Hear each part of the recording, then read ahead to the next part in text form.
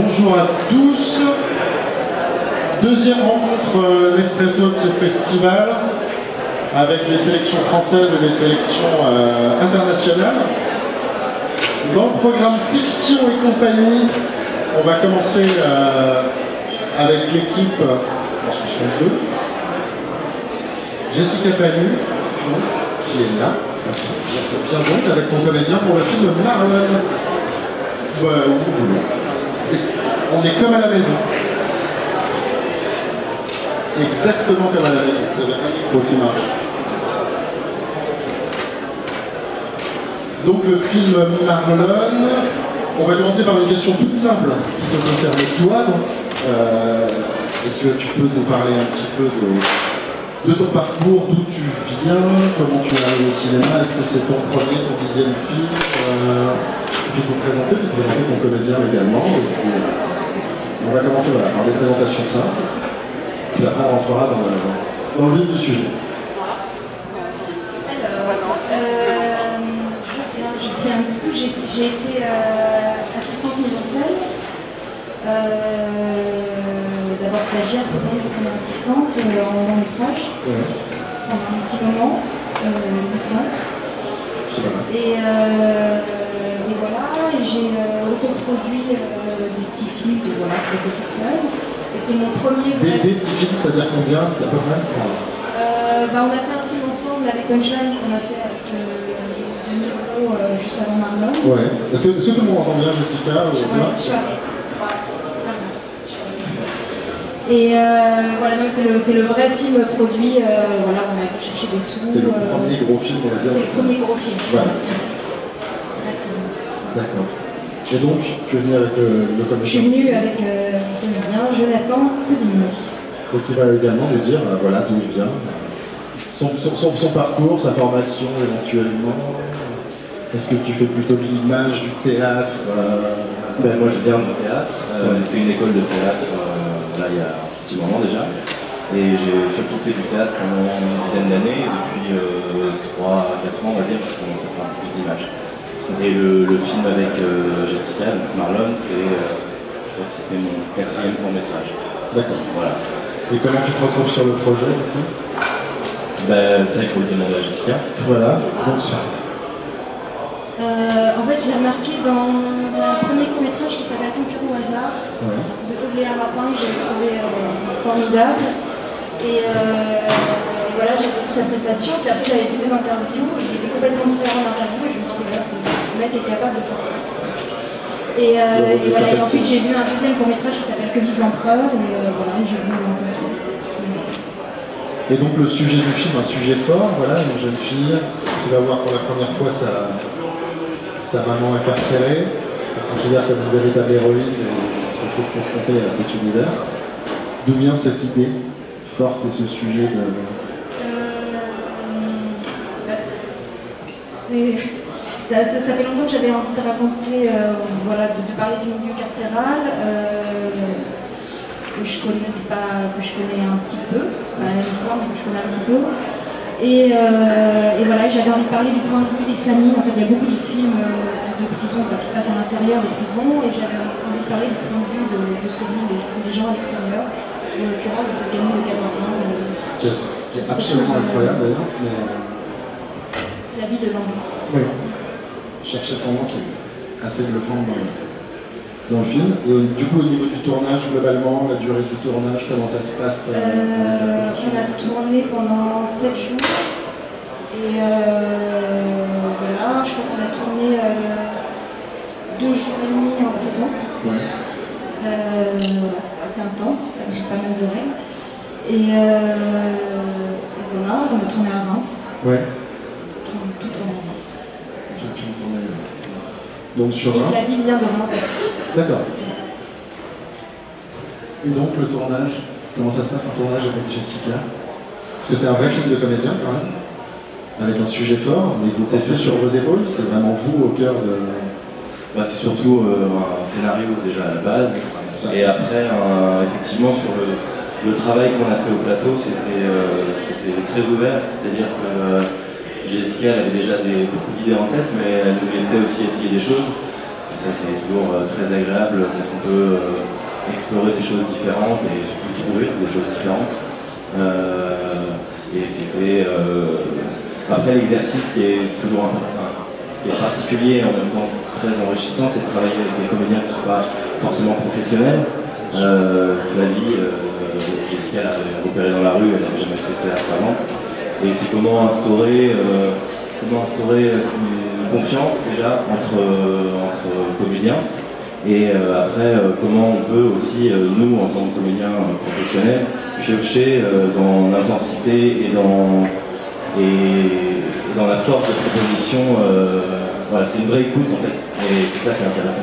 clairement. Et donc, du coup, tu travailles plutôt comment En répétition beaucoup On y va ensemble, on voit ce qui se passe euh, bah, En fait, il y a un vrai mélange de comédiens professionnels et non professionnels. Flavie n'avait jamais tourné et aussi la grand-mère. Donc, euh, bah, ce qu'on a fait avec Flavie, c'est que. En fait, moi j'avais fait à peu près une cinquantaine de gamines. Et euh, c'est vrai que j'ai craqué euh, sur ce qu'elle dégageait à la caméra, mais le jeu n'était pas forcément concluant tout de suite. Et du coup, voilà. Vu, le film, maintenant, faut que tu nous expliques comment il est devenu. et, du coup, voilà, j'ai été plusieurs fois à Reims, on a travaillé, on s'est apprivoisé. Et, et, du coup, voilà, il fallait qu'elle ait confiance aussi en, moi, en nous. Et du coup, voilà, aussi, on a, des fois se rencontrer avec Jonathan, avec la grand-mère ils ont déjeuner en famille, ils ont faire des activités avec Jonathan. Voilà, je vraiment créer une vraie famille. Et euh, il n'y avait que Anne Suarez qu'elle n'avait pas rencontré, euh, la mère, qu'elle a rencontré la première fois, euh, la première prise du. Volontairement, du coup? Oui, oui, bah, pour qu'elle ait vraiment cette peur de la rencontrer. La technique, en tout cas, fonctionne plus que parfaitement. Et, et, au niveau de tes projets, où en est le film? C'est son début de carrière euh, le film, euh, il est fini depuis avril. Ouais. On a tourne en festival depuis avril. D'accord. Et euh, c'est le début? euh, Oui, le, début, le début de sa carrière. Ah oui, c'est début La vie d'un court métrage, c'est à peu près deux ans, on va dire, globalement. En moyenne. J'espère que c'est le début. Vu les délais d'inscription sur les festivals, on peut imaginer que un festival depuis deux ans, euh, sa carrière un festival. Donc, euh, on est en novembre. J'espère que c'est le début. Et euh, voilà. Et, les, projets, du coup, qu'est-ce que tu fais maintenant? Qu'est-ce qui se passe? bah, En fait, moi, j'avais signé un long métrage avant de faire le fond métrage. Oui. Boîte de production. chez Philippe Lioret et Marie D'accord. Une boîte de production vraiment de long métrage. Et, euh, et, on dépose là les dossiers la, semaine prochaine. Donc, euh, le scénario est fini. Et euh, j'ai signé aussi un autre long métrage avec Punchline Cinema parce qu'on avait envie de continuer ensemble, des producteurs de. D'accord. Et donc, si tout va bien, tournage euh, 2018, ouais, octobre 2018, ça serait bien. D'accord. Voilà. Sinon, printemps 2019, sinon je ne sais pas. Bientôt, on l'espère. Et toi, du coup, tes, projets, qu'est-ce que tu fais en ce moment? Est-ce qu'on peut te voir quelque part? Est-ce qu'on pourra te voir bientôt? Euh, sur une scène sur, euh, bah, Déjà demain soir, il y a un nouveau métrage qui passe qui s'appelle Bleu d'hiver, qui a été réalisé par euh, Missius et Camille Rouault. Et puis après, euh, là, j'ai tourné dans des longs métrages, mais qui ne sont pas encore sortis, vont sortir notamment avec Guillaume Niclou au Vietnam. Donc là, ça va sortir dans, quelques mois. Et puis voilà, j'ai fait d'autres projets de longs, de courts qui vont sortir au fur et à mesure. Et maintenant, tu, maintenant tu travailles sur des projets de long, est-ce que tu fais partie de ces nombreux comédiens qui ont toujours cette envie folle de revenir à la court bah, De toute façon, euh, pour moi c'est exactement la même chose, enfin c'est le même travail, c'est la même façon de procéder, sauf qu'il y a quand même un peu plus de moyens. Mais de liberté qui est parfois plus grand encore sur le court métrage. Bah, ça dépend. Ça dépend. Je crois qu'il y a des fois des courts métrages où on n'a pas forcément beaucoup de liberté et des longs où on en a beaucoup. Et c'est pas forcément une règle. Euh, donc je, fais les deux avec autant de plaisir. D'accord. Ben, merci à vous deux en tout cas et bravo, pour, euh, bravo pour le film. Et puis on se reverra pour le l'an prochain. C'est dans quelle sélection? Gueule d'hiver Gueule d'hiver. Demain 20h pour ceux qui veulent euh, se revoir une seconde. Merci à vous en tout cas.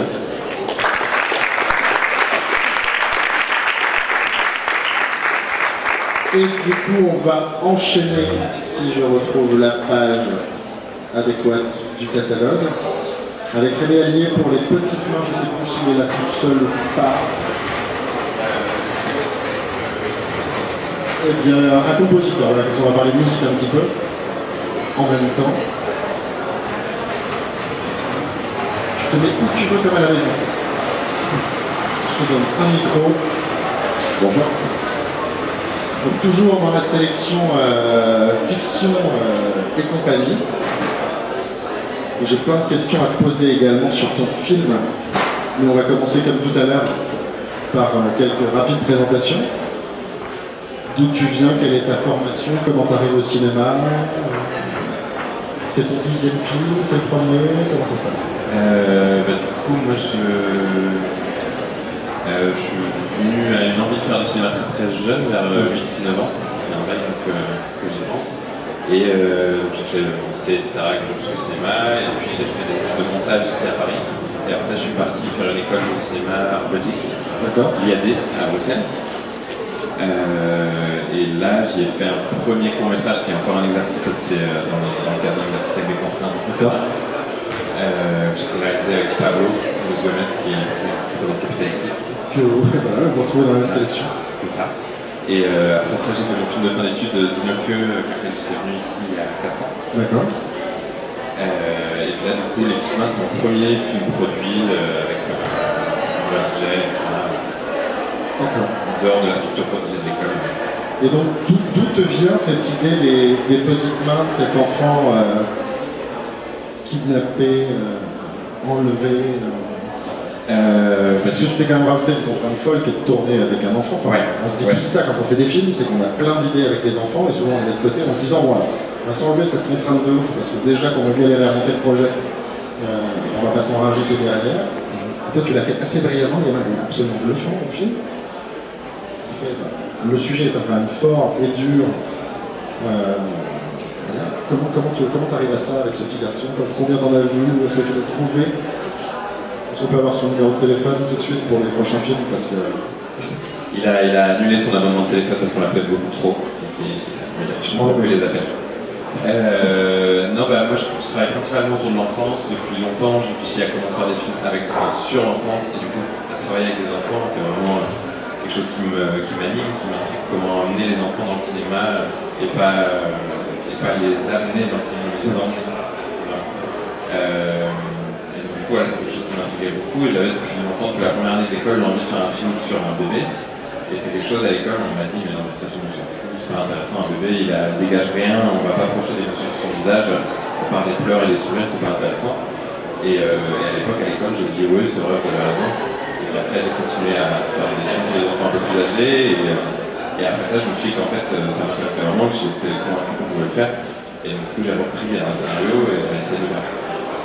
Et euh, on a continué à me dire que c'était pas une très bonne idée, et puis petit à petit, à force de travailler sur le scénario, bah, on s'est dit, ah ouais, en fait, c'était peut-être faisable. Et après, du coup, bah, une fois le scénario fini, que les, les films sont là, on allait voir ces castings. Et moi, pendant l'écriture, en fait, j'avais suivi la naissance et la croissance de Émile, du coup, l'enfant du, film, qui est le fils d'amis très proches, euh, qui sont l'accessoiriste et la costumière du film. Et euh, lui, il m'intéressait, il me nourrissait à l'écriture, mais à aucun moment je voulais qu'il tourne dans le film parce que je voulais pas mettre en jeu ma relation avec lui, avec ses parents. Dans le film, déjà qu'on travaille ensemble parce qu'il travaille avec moi sur les films, mais avec leur enfant, ça m'intéressait beaucoup. Et donc, du coup, on a lancé le casting et j'ai rencontré une petite centaine d'enfants, euh, un peu partout. Et, euh, et c'était assez compliqué parce que bah, les, les enfants qu'on présente dans les castings aussi jeunes, c'est beaucoup des enfants de publicité en fait. Ouais. Et donc c'est souvent des enfants qui correspondent à un standard de publicité pour des couches culottes. euh, et c'était pas du tout ce que je voulais, pas du tout ce que je cherchais. Et donc à un moment du casting, j'ai appelé Martin, le papa, en me disant tu veux pas passer. Il est venu du coup, juste- c'était juste dans l'idée de s'amuser un peu avec, avec lui. Et euh, après quand on a regardé les images, ben, on était tous... voilà, en fait, euh, il y a vraiment un truc différent, euh, il, est fort, il, et comme il me fait confiance, il me connaît, bah, il y a quelque chose qui est tout ça. Et voilà, du coup, après beaucoup de réflexion, discussion avec les parents, c'était peut-être le meilleur moyen de le faire. Et maintenant que c'est fait, je me dis qu'en fait, c'est la seule solution pour faire un truc pareil. c'est d'être dans ce- cette bulle de confiance avec bah, les parents, les amis, les proches, la famille. Sans ça, je ne sais pas trop comment on aurait pu embarquer euh, un enfant inconnu et ses parents dans, cette aventure-là. Et comment tu travailles concrètement sur le plateau euh, avec ce petit bonhomme dans un sujet aussi dur pour. euh, tous les réels des subterfuges absolus. On a entendu Maïwen en parler sur, sur Police, de comment on n'explique pas du tout à l'enfant ce qui est en train de se passer en vrai. Je pense à, à aussi dans l'empreinte de l'ange sur une scène forte de noyade avec Catherine Fro qui gesticulait en faisant des grimaces à la gamine qui devait. Euh, qui a fait ça comme un jeu. Le but du jeu, c'était Catherine te fait des grimaces. Toi, tu ne dois pas rire, mais tu dois avoir l'air triste alors qu'elle essaie de te faire rire. Et le montage fait qu'elle est en train de se noyer. euh, voilà, mais parce qu'il ne faut pas leur expliquer, histoire de se et tout ça. Et du coup, quelles sont toi tes, quelle a été ta technique pour travailler comme ça, pour, pour qu'en même temps ils s'amusent sur un film qui n'est pas une grosse grosse comédie, euh, Voilà. loin de là Voilà. C'est pas la franche rigolade. Voilà. Euh, bah, du coup, le, le gros du boulot, bon là en l'occurrence, il a deux ans et deux mois avant le tournage. Il a une doublure qui a deux ans et six mois, donc Camille, qui est un autre enfant du même âge, qui est aussi fils d'amis, etc. Euh, et puis il y a aussi une poupée, euh, Saranta, qui servait à faire tous les trucs un peu plus compliqués à moment-là. D'accord. Et après, bah, comme il a deux ans, on n'explique pas les choses aussi, aussi complexes que ce que tu viens de dire. Euh, donc en fait, c'est de, le principal du truc, c'est de transformer les actions du film en jeu. Et moi, j'avais du coup des jeux installés avec lui. À trois, on va faire ça. À trois, on va jusque là, et on va se cacher là. À trois, on va regarder là. On va chercher papa. On va... Donc il y a plein de petites choses du coup, que j'utilisais comme ça, euh, qui me permettaient de lui faire des actions précises. Et donc du coup, je, le, je lui parlais en fait quand je le faisais. D'accord. Et si c'était pas moi, c'était euh, Yann le, le partenaire adulte, ou euh, Sandrine Blanc qui joue sa maman, ou Steve qui joue son père. Et du coup, c'est voilà, les adultes qui guident euh, dans la scène. Et, euh, et après, pour ce qui est des choses un peu plus compliquées, bah, c'est des, petits subterfuges, des stratagèmes pour le surprendre. On faisait, un bruit, on faisait claquer quelque chose. On avait une corne de brume, donc on mettait au loin, et du coup, il se retournait du coup, parce qu'il était surpris par ce bruit.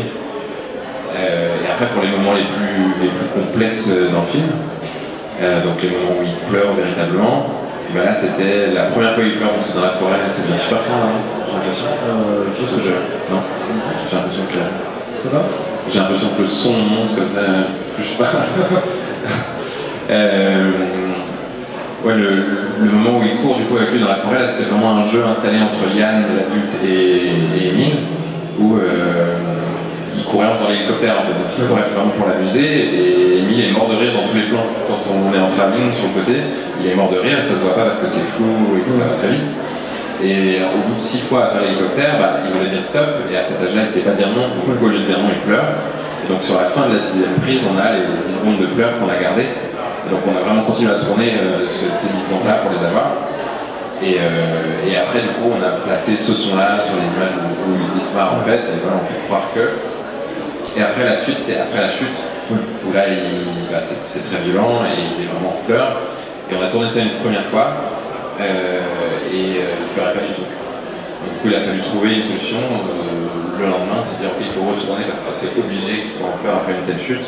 C'est pas possible autrement, et donc de trouver comment euh, faire. Et après pas mal de réflexions, on s'est dit, mais en fait, le truc c'est d'aller chercher à la sieste et de le prendre sans rien lui dire, de l'emmener sur le plateau, de le poser devant la caméra au moment de la sieste, et du coup, bah voilà, ça, ça a créé un, un inconfort chez lui, euh, pas, pas grave du tout, juste du fait qu'il pleure, comme souvent quand il se réveille de la sieste, et que, que c'est pas euh, maman qui le réveille, mais c'est papa, il se met à pleurer, et- ou l'inverse, et voilà. Du coup, c'est créé ce, cette petite déstabilisation-là, qui fait que du coup, bah, on a l'impression qu'il vient se ramasser dans la pente, euh, Ouais. et qu'il est perdu au milieu des fougères, donc en fait, il se réveille juste, euh, et qu'il attend qu'on vienne le chercher, quoi. Eh bien, le résultat est absolument stupéfiant.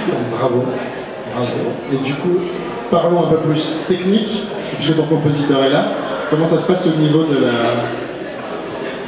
de la musique du film? Parce qu'il y a plein de solutions qui existent. Il y a des réalisateurs qui aiment donner les scénarios à leurs compositeurs pour qu'ils s'imprègnent une première fois. Il y a des gens qui donnent les images. Il y a des compositeurs qui n'aiment pas les voir. Enfin bref, il y a plein de techniques. Du coup, comment tu as travaillé toi sur ce film? Euh, déjà, il faut dire que j'avais déjà fait la musique du premier court métrage de Ginevra. Et que c'était. Euh, enfin, qu'en fait, Rémi avait quand même des, une idée très précise de l'endroit où il voulait que la musique intervienne. Et euh, c'est arrivé à un moment où euh, une espèce de switch vers euh, quelque chose de plus onirique, un moment de détente. Où, euh, c'est terrible, c'est- c'est- c'est pas bien. Et, euh, Et du- tu- du coup, tu arrives à quel moment Toi, tu as, déjà lu le scénario Tu veux quoi Ouais, alors moi j'ai moi j'ai lu le scénario, je sais où il veut la musique, Ouais. et euh, donc après c'est je sais quel type de musique, où est-ce qu'il veut que la musique emmène, et quoi en fait. Et, et sur ton travail, du coup, tu t'y penses au moment du scénario déjà, ce que tu peux faire, ou t'attends d'avoir les images pour euh, Non, je pense déjà, euh, D'accord. Pense déjà avant, et puis on fait pas mal d'allers-retours en fait, des démos, des maquettes, on envoie aussi des, des musiques qui l'ont, qui le, pouvoir ressembler à ce qu'il. Et, euh, et voilà. Et, euh, donc là, euh, là, il y avait deux extraits, je crois. Il y avait un morceau de. de de de Ellis Nick Cave. Mhm. Et de Stravinsky. Donc euh, aussi avec des. des, des, des- arpèges de flûte très rapides. etc. Qui commence par un- quelque chose de très ténu, et qui emmène vraiment. Voilà. Et par contre, pour le, pour le générique, c'est toujours euh, voilà, premier, premier, en fait, c'est c'est un peu les deux, les deux mêmes. Euh, le premier et le deuxième, c'est un peu le, même euh, manière de, euh, logique, ouais, manière de. Donc le- j'avais un morceau, euh, un moment très précis où il avait des idées très claires. Et après l'idée c'est de traduire en musique, comment parler aux musiciens, comment Bien sûr. jouer, etc. Et ensuite le générique, où là je, je suis un peu plus libre, euh, même si euh, là, pour, pour ce, pour, ce, pour ce deuxième, il avait aussi une idée de quelque chose qui est quand le film se termine quand même dans une situation où le, le personnage principal, euh, bon, il a, rendu l'enfant, mais ce qu'on fait maintenant, euh, Ouais. c'est une musique qui emmène vers, euh, vers un futur de, combat. Ouais. Et du coup, quels sont vos projets à l'heure actuelle? Ah, donc, moi je suis, je fais beaucoup de scènes, de, donc, Tu fais de la scène, d'accord? Je suis musicien plutôt euh, ça. Donc, et, et le film, du coup, la bande originale de film, c'est. euh, bah, c'est euh, surtout avec Rémi. D'accord est-ce que ça te donne envie d'en faire d'autres, de, de, de- de mélanger un peu la scène avec, euh, Euh, avec ouais, les BO, d'aller. euh, Parce ce que les réalisateurs qui sont là peuvent venir te. Ouais, je Rémi accepte de te prêter entre deux films. Mais ouais, non, c'est plutôt intéressant parce que c'est faire de la musique, mais à travers quelque chose qui n'en est pas. Et donc tout ce travail de traduction, en fait, euh, c'est pas un thème réalisateur ou, ou pas, euh, c'est- par rapport à la musique, c'est- je trouve ça vraiment intéressant. Et au niveau de la scène, du coup, c'est un groupe, c'est se passe C'est plusieurs groupes, des collaborations. Et il y a des endroits où on peut te voir. Euh, là, Prochainement. Je joue... Là, je joue pas trop à Paris cette prochaine fois. Je joue, je joue deux concerts à Paris la semaine prochaine. Des, Le festival sera fini, on aura tout notre temps. Dans une petite galerie euh, dans le 18e, euh, à côté de Barbès. Ça s'appelle Les 21 chaises, euh, vendredi. D'accord. Euh, avec euh, Cyprien Busolini, euh, Félicie Basler et Sébastien Branche. Rendez-vous. Et toi, du coup, comment ça se passe maintenant? Moi, je suis en concert aussi la semaine prochaine. Non, pas du tout. Euh, bah, Maintenant, non, je- maintenant que tu l'as dit, tu vas être obligé de c'est ça. C'est une très mauvaise idée. Voilà, mais ce sera pour tout parce que par rapport à la collaboration, c'est que, que j'ai des idées très précises, mais par contre, je suis pas du tout musicien. Ouais. Et donc, du coup, je lui parle de trucs, et puis euh, parfois, il me regarde avec une espèce de vide dans les yeux, mais Le dos sur on la prend passage, ça je parle. un temps pour euh, qu'on se comprenne au final, mais au final, voilà, ça marche bien. Euh, mais du coup, non, pour la suite, c'est euh, bah, j'écris, j'écris un long, Ouais. euh, et voilà, c'est long. Donc, Le long projet. voilà. Écrit, des pistes de prod, ou c'est fait comme ça, ou c'est. Il y a, il y a, oui, oui, oui, bah, il y a grande chance qu'on continue avec les mêmes que pour le court métrage. Mais voilà, comme pour le moment, ils ne savent pas exactement ce que je veux faire, euh, c'est un peu dur de, de dire que effectivement c'est fait, mais Il y aura des enfants. je suis il y a des chances qu'il y ait des enfants. Des chances. Ben, on a hâte de voir ça. Merci à vous deux, en tout cas. Merci. beaucoup. Et puis, du coup, on va enchaîner sur notre euh, lancée. avec euh, Jules et Fabrice, qui sont donc les réalisateurs du film Animal, qui doivent être là. Voilà. Toujours donc dans le programme fiction, le programme de fiction et compagnie.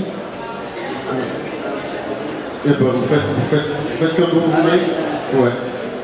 Mais comme vous le sentez. Et là où on change complètement d'univers, sur les combats de Véranguille.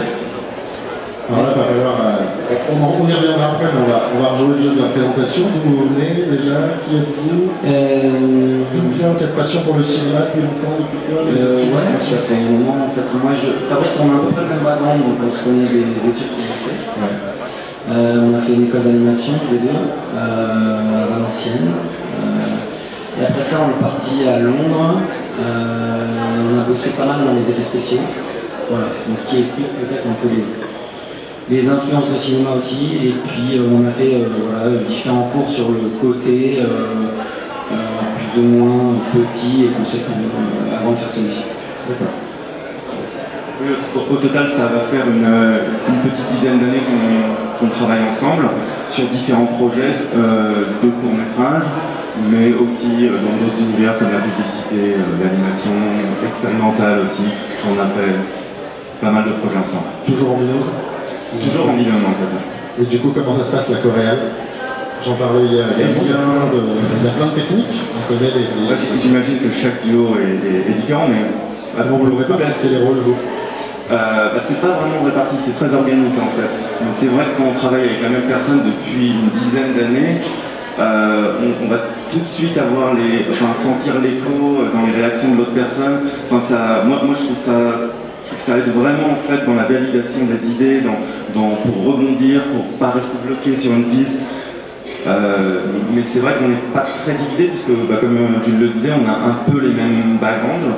Mais par contre, ça reste une force dans le processus créatif. D'accord. Et sur, le plateau, concrètement, il y en a un qui est plus sur les, comédiens, plus sur la technique, ou c'est partagé? Comment vous fonctionnez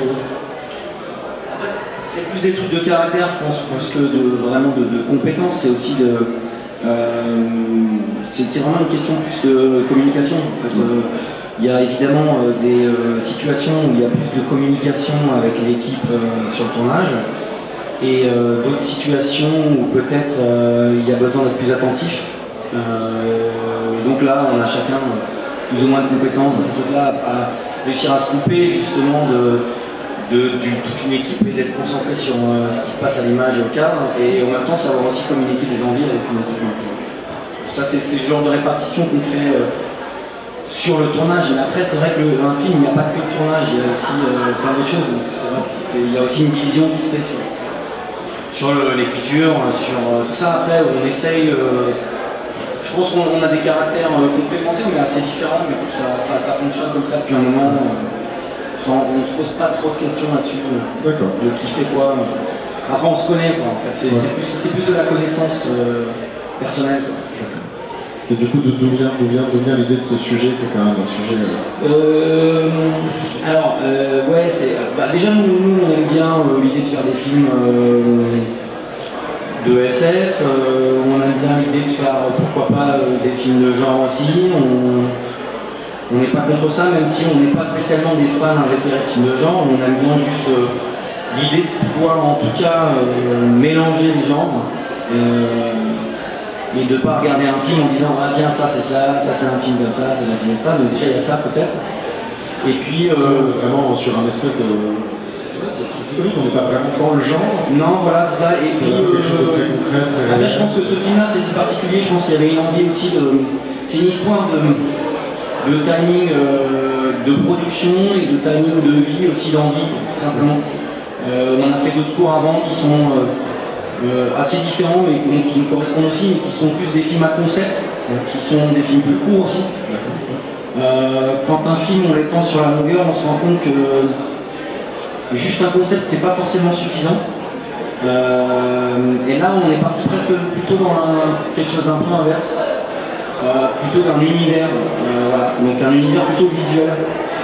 Euh, et des d'essayer de-. Ouais, avec, une, avec une intention de faire quelque chose de, euh, de SF mais plausible, un peu intrigant et, et, ouais voilà, je pense que c'était ça l'idée. Et puis aussi le travail d'un photographe, mais si je peux quand même rajouter, il y a un photographe qui s'appelle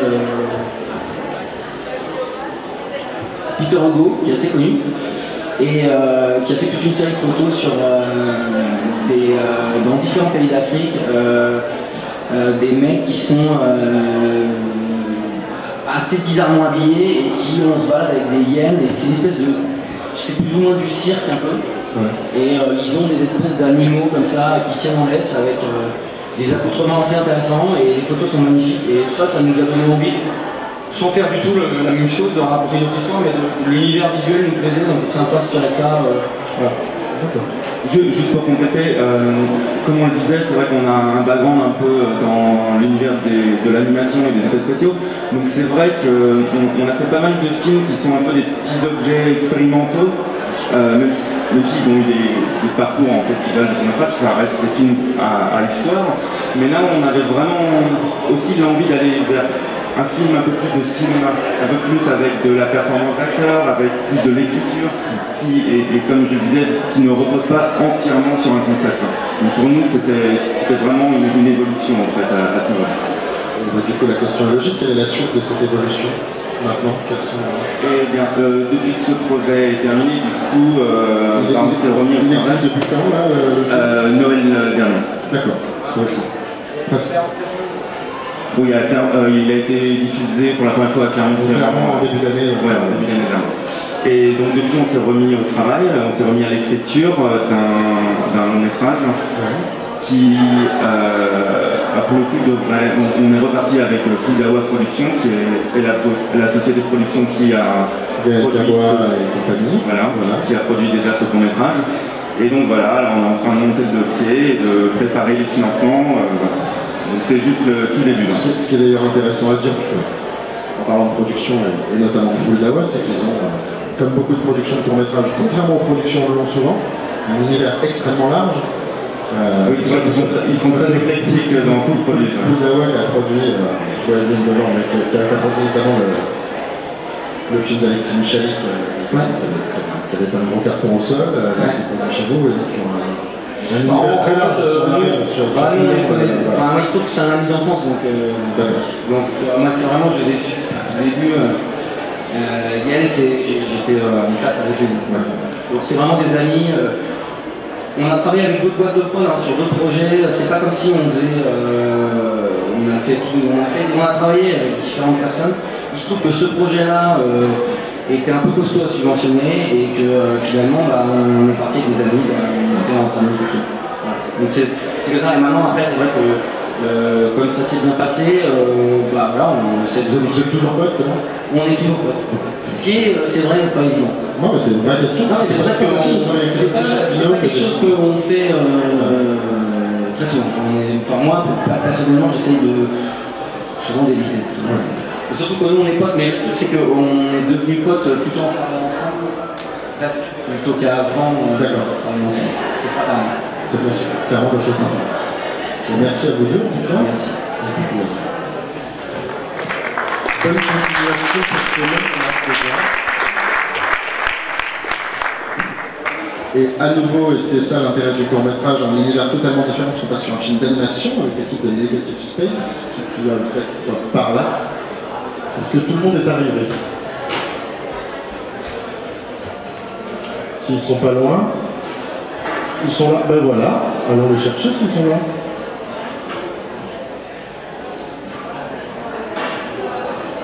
Ils sont partis chercher un café, c'est du coup parfait pour ces rencontres. Ils sont là, ils arrivent.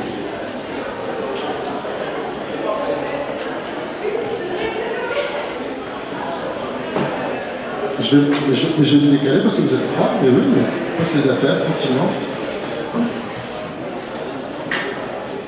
Et pour ne pas déroger à la règle, oui, vous êtes là en nombre. Je vous laisse vous présenter, nous dire ce que vous avez fait sur ce film. Bonjour, donc moi je suis Edwina Liad de Ecofilm et donc euh, j'ai, euh, on a produit Negative Space avec euh, Jean-Louis Paddy.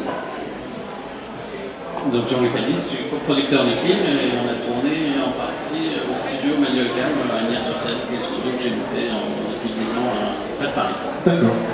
Et Et donc moi je suis euh, animateur, et du coup chef animateur du film.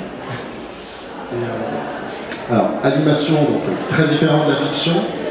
Moi, je suis complètement novice en la matière. Comment ça se passe donc, du coup Comment a été tourné le film concrètement pour des gens qui sont euh, loin d'être experts en animation Comment ça se passe On sait que les techniques d'animation sont diverses euh, et variées. donc là c'est très simple, c'est 12 semaines de fabrication de décors, Ouais. euh, voilà, 12 semaines de tournage, image par image. Voilà, Avec d'image par deux ou image. trois plateaux, c'est-à-dire qu'on installe un plateau pendant qu'il y a un autre qui tourne, et on installe un troisième plateau, donc un plateau en installation décor, un plateau en installation lumière, un plateau en tournage d'animation, 12 semaines de tournage, après 12 semaines de post-production, pour enlever les riggings, qui sont tous les éléments qui permettent de tenir les personnages et les animer image par image. Voilà. Ben, 5 minutes de film, 36 semaines de production pour 5 minutes de film. c'est un peu, c'est un peu vrai. Vous êtes des grands malades, on le sait tous pour l'animation, mais, Oui, mais le, résultat, le résultat- le résultat est incroyable. Mais euh, combien, combien de personnes sur un plateau comme celui-là, du coup, pendant donc en gros on est euh, trois sur le plateau, Ouais. Moi et les deux réalisateurs, et euh, fois qu'ils passent euh, en moyenne une journée par semaine. Ouais. Souvent il y a un chef-op quand même sur euh, toute la durée du tournage. hein. Simplement le comme les deux réalisateurs faisaient énormément de, de choses eux-mêmes, voilà, les chef-op passaient pour faire les, les grandes intentions de lumière et eux, euh, eux, derrière ils, ils faisaient D'accord. Et du coup, et au, au niveau, au niveau de la durée, le film est très en mouvement quand même, il y a beaucoup de choses qui se passent. Combien, combien combien de temps tu prends pour faire des mouvements simples, des choses comme ça quand on fait de l'image par image Sur du 24 images secondes, c'est. Nous, on raisonne en, en images en secondes par jour. quoi. Ouais. On fait, on fait 4-5 secondes par jour. D'accord. Donc ça dépend un peu de la complexité, mais en moyenne, c'est 4-5 secondes par jour, ouais, sur, un- sur un film traditionnel, l'époque c'était du 3-4 minutes jour. Donc, effectivement. euh, Et du coup, euh, vous qui avez produit le film, d'où vient cette idée euh, On la réalise du coup En fait, euh, On les a rencontrés grâce à la maison des scénaristes, Ouais. euh, Clermont-Ferrand, où eux euh, étaient venus. Et Nidia, mon associé, a renversé son café sur son écharpe, et euh, voilà, on a créé le lien comme ça. Mais on avait déjà écrit. Si, si vous êtes, si vous êtes en galère de producteur, ce qui est vachement bien, c'est que les expressions sont juste là. Allez chercher des cafés. Voilà. Voilà.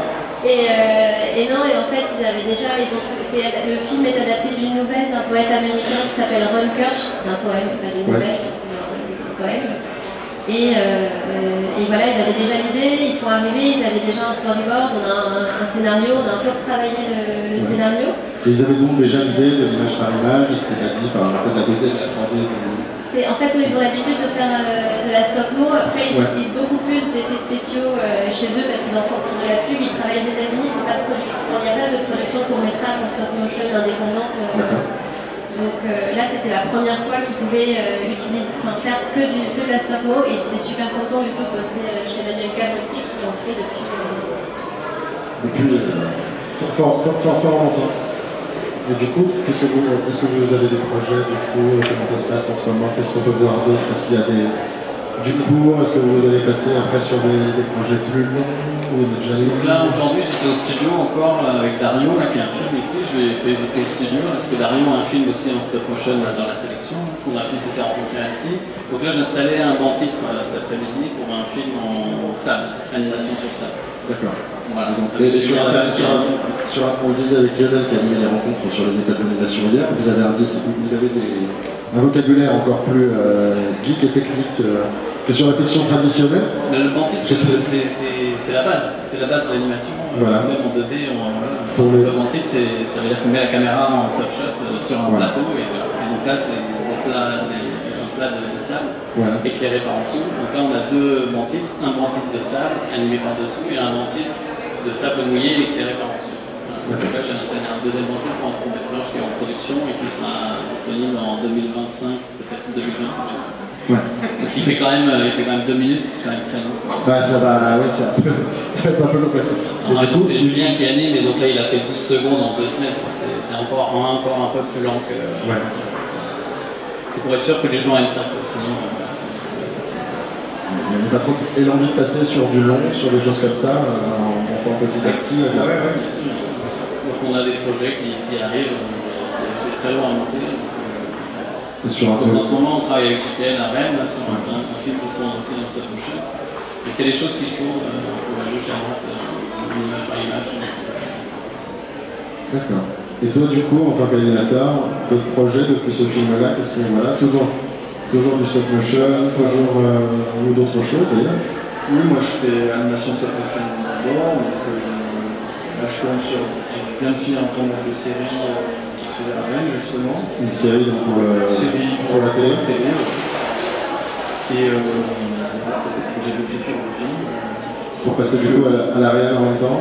Oui, j'ai déjà réalisé le film. Ouais. euh, je passe un peu de l'un à l'autre, euh, suivant les projets, les envies. Et comment, et comment ça se passe du coup quand on, a, quand on a une double casquette et un double poste de passer quelque chose qu'on fait, quand on a des idées précises dans l'animation, double casquette c'est la base, et puis souvent on a plus trois, trois casquettes, quatre Ouais.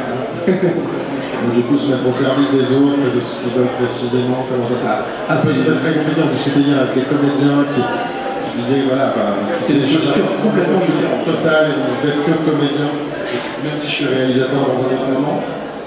C'est une posture complètement différente, mais moi j'aime autant que l'autre. Ouais. Et euh, c'est toujours un plaisir de se mettre au service d'un projet qu'on a choisi du coup.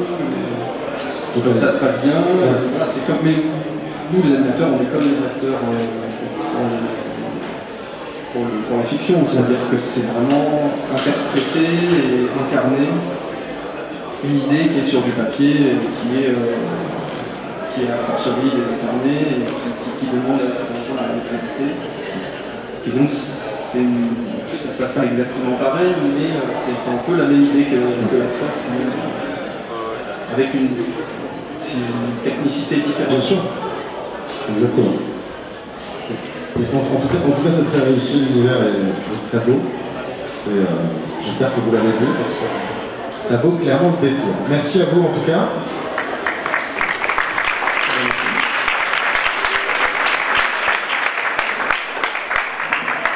Je ne sais pas du tout où on est dans le timing, parce que j'ai pas montre, mais voilà.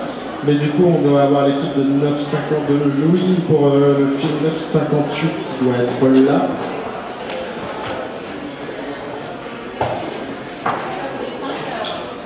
Il est 5 heures, on a commencé un peu en retard, on va essayer de, de faire vite pour euh, qu'on puisse enchaîner. Bonjour, donc du coup le film 958. Bah, déjà, là, tu vas, pareil, euh, pareil que les autres, il n'y a pas de raison de déroger à la règle. Un petit peu ta formation, d'où tu viens, euh, c'est comme les objets, comment ça se passe? Alors moi c'est mon deuxième court métrage. Ouais. Euh, je viens d'abord de la technique. J'ai Ouais. commencé comme régisseur au cinéma sur les plateaux quand j'avais 20 ans.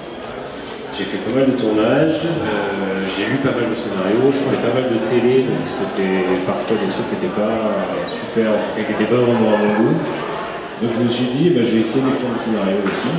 Et de fil en aiguille, j'ai gagné quelques prix, donc ça m'a donné confiance en moi. J'ai tenté le concours du CEA, donc une école de scénariste à Paris. Et euh, donc je suis sorti en 2012, mais bon, depuis, voilà, ça fait 5 ans que, que je suis scénariste, essentiellement. Et là, euh, je reviens un peu à l'arrière, 7 ans après mon premier métrage. D'accord. Et du coup, d'où te vient cette idée de, de jeune homme euh, fan, fan du symbole qui, euh, qui, a, qui a malheureusement ou heureusement 16 ans, on sait plus trop dans quel sens le Ouais, le- honnêtement, je, Et je transporte quelque chose de, de très, de très pudique dans la relation euh, qui, qui peut faire vaguement penser euh, à la relation qui est très belle aussi entre le le fils dans un film comme Billy Elliot par exemple, toute cette pudeur entre les deux et, et cette volonté hyper forte euh, du gamin qui, euh, qui se poursuit dans sa passion. et, euh, comment ça devient pour toi pourquoi, pourquoi ce sujet au départ? Comment ça démarque Ouais, au-delà du film de, de sport, moi effectivement, pour moi le, vrai sujet, c'est Ah bah, le- le vrai sujet, c'est la relation, entre euh, voilà. Voilà. effectivement, le sport, c'est un décor, c'est euh, c'est ce qui va autour. Après, euh, non, mais je pense que tout le monde a des problèmes avec ses parents. Je crois qu'on en a tous. Euh, non, et puis voilà, spécialement quand on veut. euh, enfin, moi, je viens pas du tout du famille du cinéma, je suis le roi des provinciaux, euh, tout ça. Donc, quand j'ai commencé à dire que euh, je voulais essayer de me lancer là-dedans, ça a fait flipper tout le monde, très Ouais. bien. Ça a été un peu conflictuel, maintenant ça va beaucoup mieux, mais voilà, je pense que ça vient aussi de là, de cette expérience-là. L'histoire que tes parents voient pas trop le truc, tu te dis, ça n'a rien à voir avec C'est moi, c'est du sport, c'est pas du tout euh, projeté. J'ai roulé. Et comment ça se passe donc, du coup de travailler avec les jeunes là parce qu'ils sont, formidables tous les deux, les jeunes? Ouais, ouais, ils sont super. Non, non, j'ai eu, pas mal de chance. Enfin, on, a, on a fait un, un casting assez long. Après, euh, quand on les a trouvés, c'était l'évidence. quoi. C'était vraiment, c'était eux. Quoi. Euh, moi, au départ, je voulais un, un, un vrai sportif. Et j'ai pas trouvé un vrai sportif qui, qui, fasse, qui court, parce que Théo, qui joue le rôle principal, c'est un surfeur. Ouais, c'est un surfeur professionnel, mais il faisait pas d'athlétisme. Donc on il s'est entraîné pendant deux mois avec un coach de l'équipe de France. euh, donc, trois fois par semaine, il allait courir euh, comme un damné, euh, et il est devenu très, très bon. en. Ouais, il continue. En tout cas, c'est assez bluffant le film, parce qu'on dirait un vrai, coureur. Ouais, normalement, c'est assez crédible. C'est voilà. pas Usain Bolt, mais normalement, c'est voilà. Non, mais il y a trop il y a mal. une vraie crédibilité qui entre du coup. euh, mais, euh, et du coup, ben voilà, pareil que les autres, du coup tes projets, comment ça se passe maintenant? Où, en est le film déjà? Il est prêt depuis, euh, il est daté de 2017, mais euh, Ouais, le film, ouais, on l'a terminé en, en avril. Donc c'est voilà, c'est le début de sa carrière. Il tourne pas mal. Là, euh, cette semaine, il est en Allemagne, aux États-Unis, et ici, donc c'est super. Euh, et normalement, l'année prochaine, bah, on passe au long métrage, toujours avec la même boîte de prod et avec le même comédien du coup, que je ramène avec moi. Et la, et la même prod, mais l'autre Même prod, ouais, de Valent Exactement. qui poursuivent l'aventure et qui sont euh, très productifs. Ouais, c'est clair. Ça, c'est le, le- moins Ça fait 25 ans. ouais, Ouais, ouais, ils sont, ils sont toujours, euh, toujours aussi, euh, aussi productifs. Et du coup, merci Louis. Il n'y a pas de quoi. Merci beaucoup. Merci.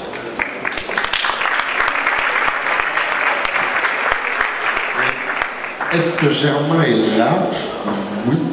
Pour le film Jusqu'à ce que la mort nous sépare. Film euh, extrêmement différent. La- avec, alors, il va falloir que- on va parler de, d'où tu viens après, mais est-ce que tu as vraiment fait ce plan horrible un jour à un pote? Non, jamais. de l'emmener de vie de garçon en lui disant est-ce que tu peux aller planquer un cadavre avec moi pour voir jusqu'où, euh, pour tester une amitié? Le sujet est complètement dingue. J'ai été hyper jaloux quand j'ai vu le film en me disant pourquoi j'ai pas eu idée avant lui? Et euh, du coup, tout ça vient ce, ce grand délire de, D'où ça vient euh, dans la comédie noire, quelle est la volonté de départ. Voilà, postulat de départ, ouais, c'est le fameux truc du comment tester l'amitié, c'est quoi un pote si ce n'est un gars qui serait capable de- d'enterrer un cadavre sans lui demander, donc je partais vraiment de cette idée-là. Et, euh, et après, toute la difficulté du truc a, a été de- d'en faire une histoire de, de 10 minutes. Enfin, il en fait 11, mais euh, parce que j'avais une contrainte de temps, moi, je, je répondais à un cours de scénario quand j'ai commencé à, à écrire. Et la contrainte c'était 10 minutes. Donc je me suis dit comment boucler une histoire à partir de ce postulat-là en 10 minutes chrono? Et donc c'est là que j'ai essayé de, de faire un récit hyper resserré, hyper efficace euh, d'un point de vue narratif. Ouais, c'est hyper, rythmé, on rentre dedans en se disant mais juste que ça va. Qu'est-ce qui se passe, les ressemblants, est-ce que c'est vrai, voilà.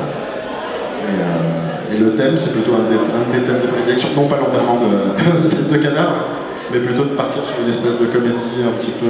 Ah, sur le ton, le, le ton, la comédie noire, qui est un genre qu'on voit pas si souvent en fait, le côté. euh, euh, ne sait pas si ça commence comme un espèce de film de genre, on ne sait pas trop où on est, parce que j'ai on va pas regarder du tout. euh, Le pitch rien. Ouais, non, il y avait Je rentre dans une histoire, on se dit, voilà, le, la, les préparatifs d'un mariage, tout va bien, d'un seul coup on bascule et on sait jamais. euh, Dans quel genre on est, ouais. Ouais. C'est vrai que c'était une question le ton en fait, parce que je, je, je je me suis beaucoup amusé à l'écrire, le film.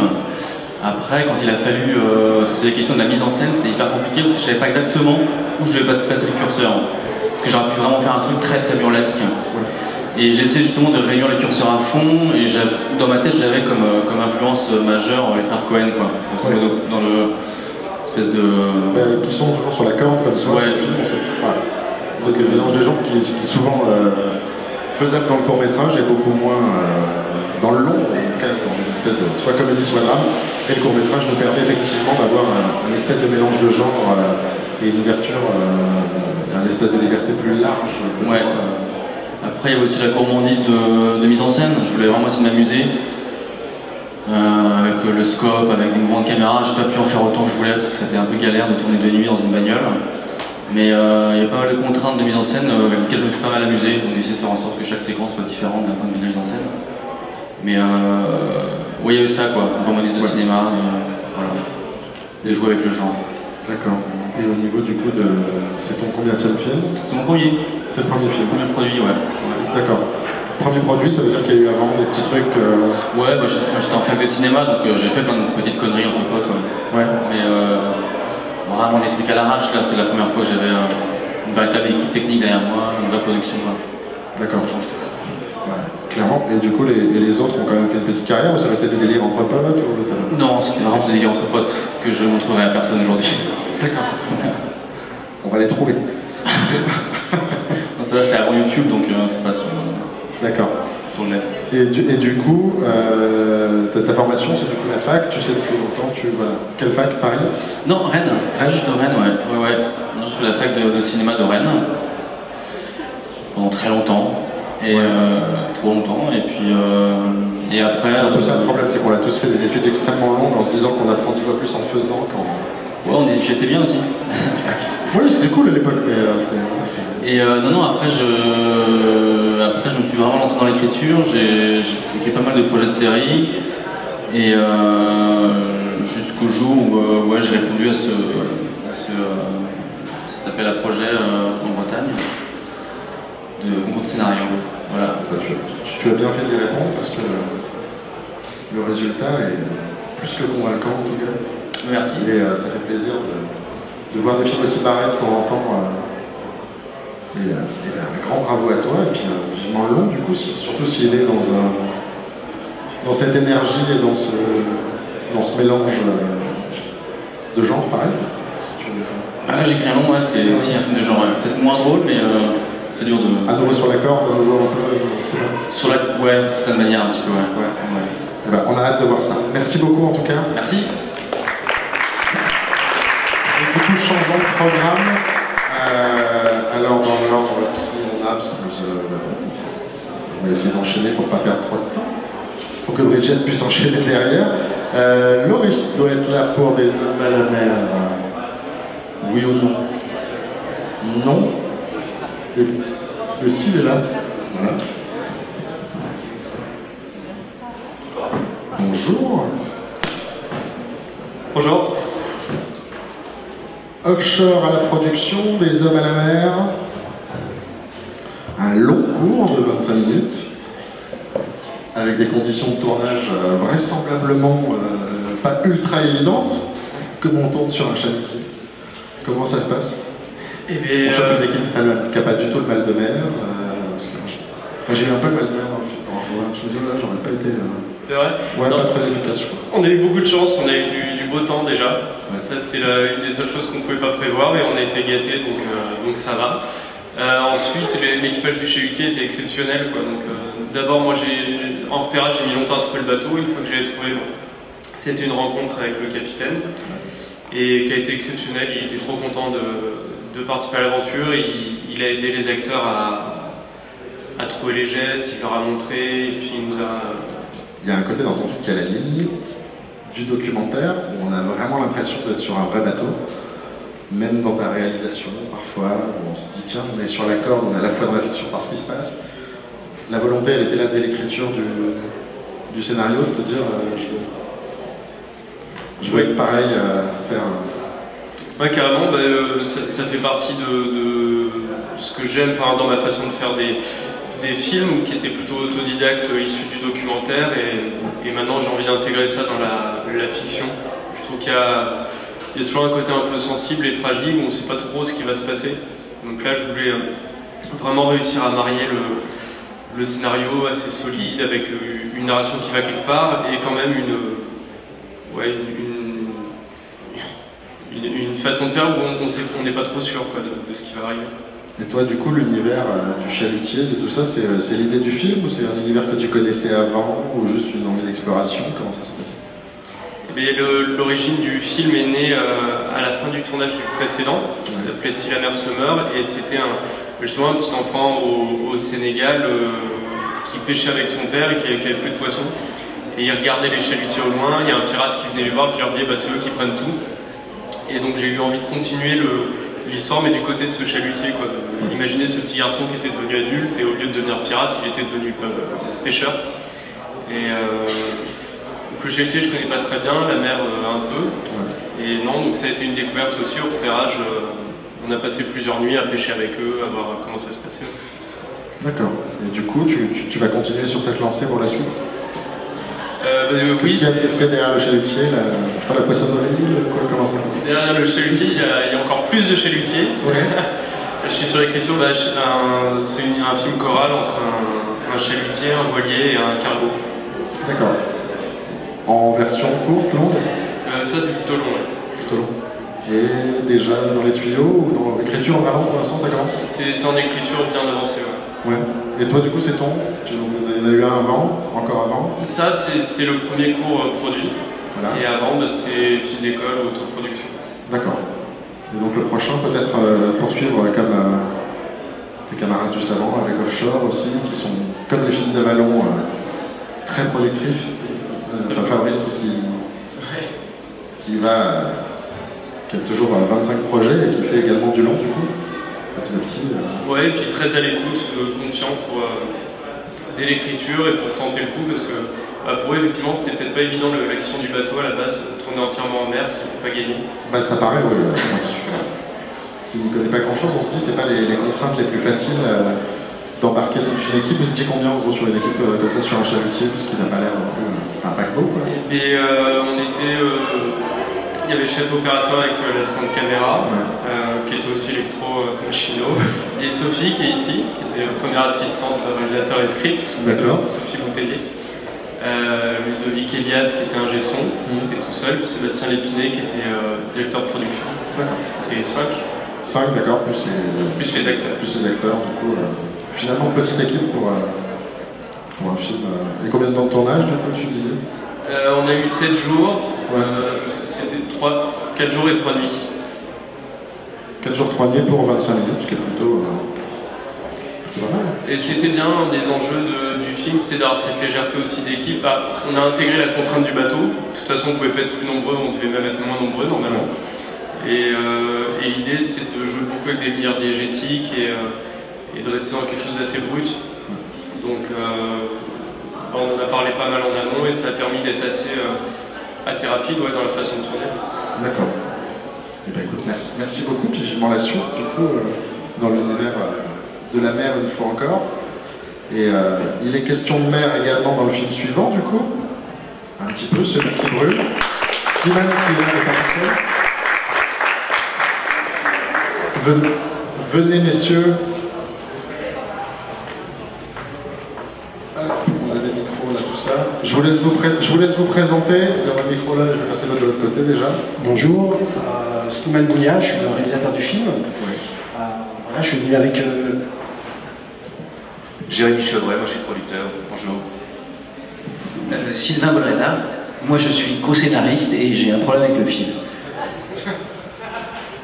Alors, parlons de cette idée. euh, d'où d'où vient, alors voilà, d'où vient cette idée de, de destin mêlé euh, avec euh, destin humain mêlé avec celui d'un poisson congelé. Alors, d'où- vient l'idée euh, bah, En fait, c'est- lors d'un séjour de travail qu'on a fait avec, Sylvain en Algérie. Et on a un ami commun en fait qui, tenait une boutique de poissons congelés en plein milieu des, montagnes kabyles. Et puis on, s'était fait la réflexion, on lui avait dit mais, tu- pourquoi tu tiens une telle boutique? Tu vas pas avoir de clients puisque euh, en fait sa boutique elle est à, à quoi? À 30 km de la mer. Je lui dis bah dans la montagne. Je dis, mais c'est complètement absurde. Il me dit, non, mais nous avait dit, non, non, mais en fait, euh, t'inquiète, c'est comme ça ici, euh, ça, ça marche comme ça, euh, je vais avoir des clients. euh. et là, voilà, tout de suite, on s'est dit, mais euh, voilà, là, c'est, on, on tient un, un début, un début complètement euh, dingue pour, euh, pour un début de, de, de court-métrage, quoi. C'était aussi une façon de parler du fait que la société algérienne ne tourne pas rond en essayant de s'affranchir du néocolonialisme. Alors, euh, surtout pour moi, euh, puisque Slimane lui est algérien, donc il a une certaine liberté de parole euh, plus grande. Et, vraiment, ça correspond aussi à une chose de, une chose très précise. C'est qu'après le terrorisme, l'État algérien a balancé plein de toutes petites subventions à des gens pour ouvrir des petits trucs sans queue ni tête. Et ils se retrouvent euh, sans queue ni tête. Et au niveau, donc, du coup, comment ça se passe au niveau de ce casting? Gros casting quand même pour le film. euh, encore des comédiens qui ont une, une vraie carrière dans le long et qui Ouais. reviennent vers le, le court-métrage. C'est quelque chose, ça fait la Ouais, ouais, ouais. Alors, qui les convainc Comment ça vient? Comment? Je dis qui les convainc? Est-ce que c'est le producteur qui va direct en disant hop Est-ce que c'est toi au départ Comment Alors, à, vrai dire, euh, bah, c'est moi, en fait, hein, au départ. Hein, c'est ça. hein. Euh, bah, en fait, c'est assez simple. les, comédiens, bah, euh, on s'adresse à leur agent, dans un premier temps, en leur écrivant un petit mot, et puis en disant surtout qu'on pense très fort à eux pour le, personnage. Et, ma foi, ce qu'il faut, il faut déclencher la lecture du scénario, déjà. Et quand, quand voilà, une fois que Salim et Sabrina avaient lu le scénario, ben, euh, par bonheur, ils ont été très convaincus par, euh, le projet et ils ont, rappelé tout de suite, euh, tout de suite après, hein. c'est ça, Jérémy, hein. c'est comme ça que ça s'est passé. Oui, puis on euh, Salim, moi je tournais, je fais une copro à Lyon sur un. Euh, pardon. Sur un long métrage qui s'appelait Corps étranger où il tournait, et puis du coup ça a été l'occasion de, de rencontrer Slimane. Et puis euh, ce, ce dernier rendez-vous l'a achevé, de convaincre de, de, de s'aven- s'aventurer avec nous dans ce, dans ce projet. D'accord. Et donc, toi, tu fais du court, du long, un petit peu de. Moi je produis du court et je développe du long. ouais. Et donc, quand on est producteur, comment on se laisse convaincre par une histoire de poisson congelé dans la montagne au départ? Alors on avait un peu Slimane, on avait fait quelques tours de caméra avant avec Ouais. trois premiers cours, euh, donc ça, ça- voilà, on se nourrissait de- depuis de, de- de nombreuses histoires et puis c'est celle-là euh, sur laquelle on est parti euh, avec plusieurs projets ou embryons de projets. Et puis celui-ci il a été long et fastidieux à, à produire mais, mais on, on y est arrivé. Et voilà, il y a encore du coup d'autres projets euh, pour l'avenir. D'accord. En court, en long? En long. D'accord. Ça, c'est bien. Et du coup, en tant que. Vu qu'on a deux scénaristes, comment on bosse euh, à deux Comment on bosse à deux, à quatre mains? Comment vous bossez vous, en tout cas, parce qu'il y a encore une fois euh, 50 000 techniques Alors c'est simple, il n'y en a qu'un qui a le micro. Non, en fait, c'est c'est, euh, bah, ce que racontaient beaucoup de gens, c'est le, le fruit euh, d'une amitié. Euh, mais ce que racontaient beaucoup de gens aussi, c'est que l'amitié, c'est d'abord le travail, c'est se comprendre, c'est avoir de l'intérêt pour l'autre. Et puis euh, après, c'est des allers-retours. C'est être assez sûr de l'histoire qu'on veut raconter ensemble. Et puis après, ben, il faut partir euh, euh, devant son ordi, bosser, revenir. L'autre part devant son ordi. C'est un aller-retour. Mais avec des bases de rêves, d'images et de, choses qui, qui sont vraiment communes. Et puis après, il faut bosser chacun de son côté. Et puis après, il faut écrire une histoire, il faut la faire lire. On te dit que c'est vraiment pas intéressant, donc tu la réécris. Et puis on te redit que c'est encore moins intéressant, donc tu l'as réécrit. Alors là, tu l'as fait lire à ton producteur, il te dit oulala, au revoir, et donc tu l'as réécrit. Et puis un jour, ben, il y a quelque chose qui gêne. Oui, pour, pour l'écriture, en fait, euh, ça a été des allers-retours entre Sylvain et moi. Et puis, euh, et puis euh, régulièrement, en fait, on a fait appel à des, à des lecteurs, des, script docteurs, pour, pour nous aider à avancer. Et, là, Jérémy a, a joué le jeu, en fait, à chaque fois, ponctuellement, de, de, nous fournir cette, euh, assistance. hein, parce que même à deux, euh, des fois, ben, on, arrive à des impasses, hein, donc c'est important. Donc voilà, l'écriture et la, recherche de production, ça a duré euh, à peu près trois ans, enfin de la première idée jusqu'à la réalisation effective du film. C'est trois années d'écriture et de, développement. D'accord. Et, et, et temps de tournage Temps de tournage, euh, bah, 8 jours en Algérie, un jour de break, donc 7 jours euh, effectifs de, de tournage, je ne dis pas de bêtises. 8 jours effectifs en fait, monsieur le producteur. A les comptes 8 jours effectifs sur place. Et, euh, et puis en montage, euh, un mois et demi, deux mois, euh, allez, facile. et, et où en est le film aujourd'hui? Il est, il est prêt depuis quand Il tourne en fait, on l'a achevé euh, en septembre, euh, septembre dernier. Ouais, euh, un, an. quoi. Ouais, ouais, ouais. Et puis là, il tourne en festival, et puis on est assez, euh, assez content parce que bah là, on a un mois de novembre qui est, qui est super hein, parce que là, il est vraiment, bah, il, est, il est ici. Il était à Sarlat euh, jusqu'à euh, hier soir, à Rome, euh, j'en oublie, mais enfin, ouais, la semaine dernière, euh, à Aix-en-Provence euh, à la fin du mois. Voilà, il est allé aux États-Unis. Enfin bref, il a une belle, un beau parcours, quelques prix. Voilà, plutôt, euh, plutôt. Bon, après, on sait que les prix, c'est toujours le, le hasard, mais euh, en tout cas, vous avez le- des jolis retours du public. Ça, c'est dans la salle et euh, ça marche plutôt, euh, plutôt bien. Donc, bravo à, bravo à vous et merci d'être là, en tout cas. Merci. Et puis, vous restez un peu, de toute façon. Oui, oui. des choses à vous dire, à vous parler après, tout ça, voilà. Bien sûr, bien sûr, on est là, on est là. Et ben, c'est super.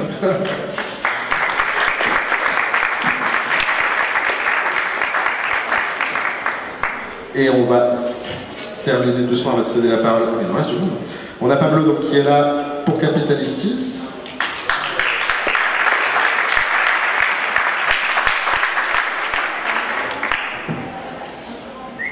Le Père Noël serait donc capitaliste. Il paraît, on m'a dit ça. Et c'est toi- qui vas nous expliquer ça.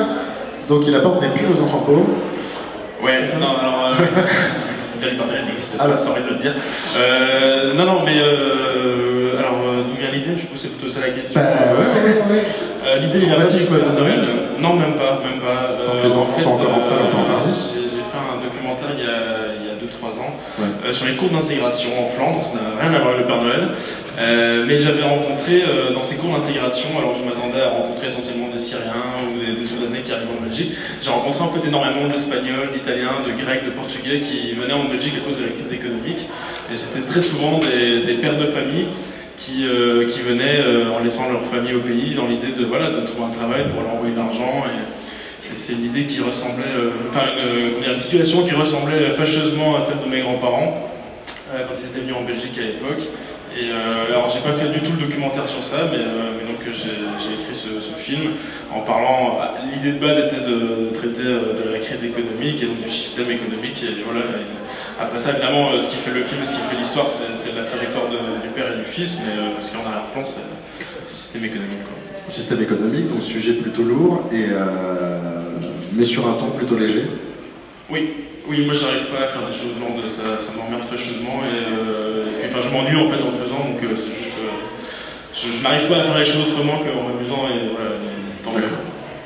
Et du coup, c'est le combien de film C'est comment Donc c'est le troisième film, Troisième court. premier court métrage produit, mais le fin d'études avait pas mal circulé en festival et tout ça, donc, donc voilà, c'est le troisième film que je peux signer en disant que c'est un film film. D'accord. Et du coup, par la suite, c'est donc le long, je suppose, comme tes collègues, ou encore Euh, un petit peu de cours d'abord Non, plutôt long, ouais. Après, Ouais. J'en parle pas trop parce que je suis en train d'écrire avec. euh, Ça commence. c'est- c'est- Ça avance, lentement. voilà, longuement aussi, mais, euh, mais euh, voilà, donc euh, a priori longue fiction. euh, voilà. Voilà, tou- toujours sur un sujet fort, traité de, sur, la, sur la comédie, sur Ouais. c'est tout.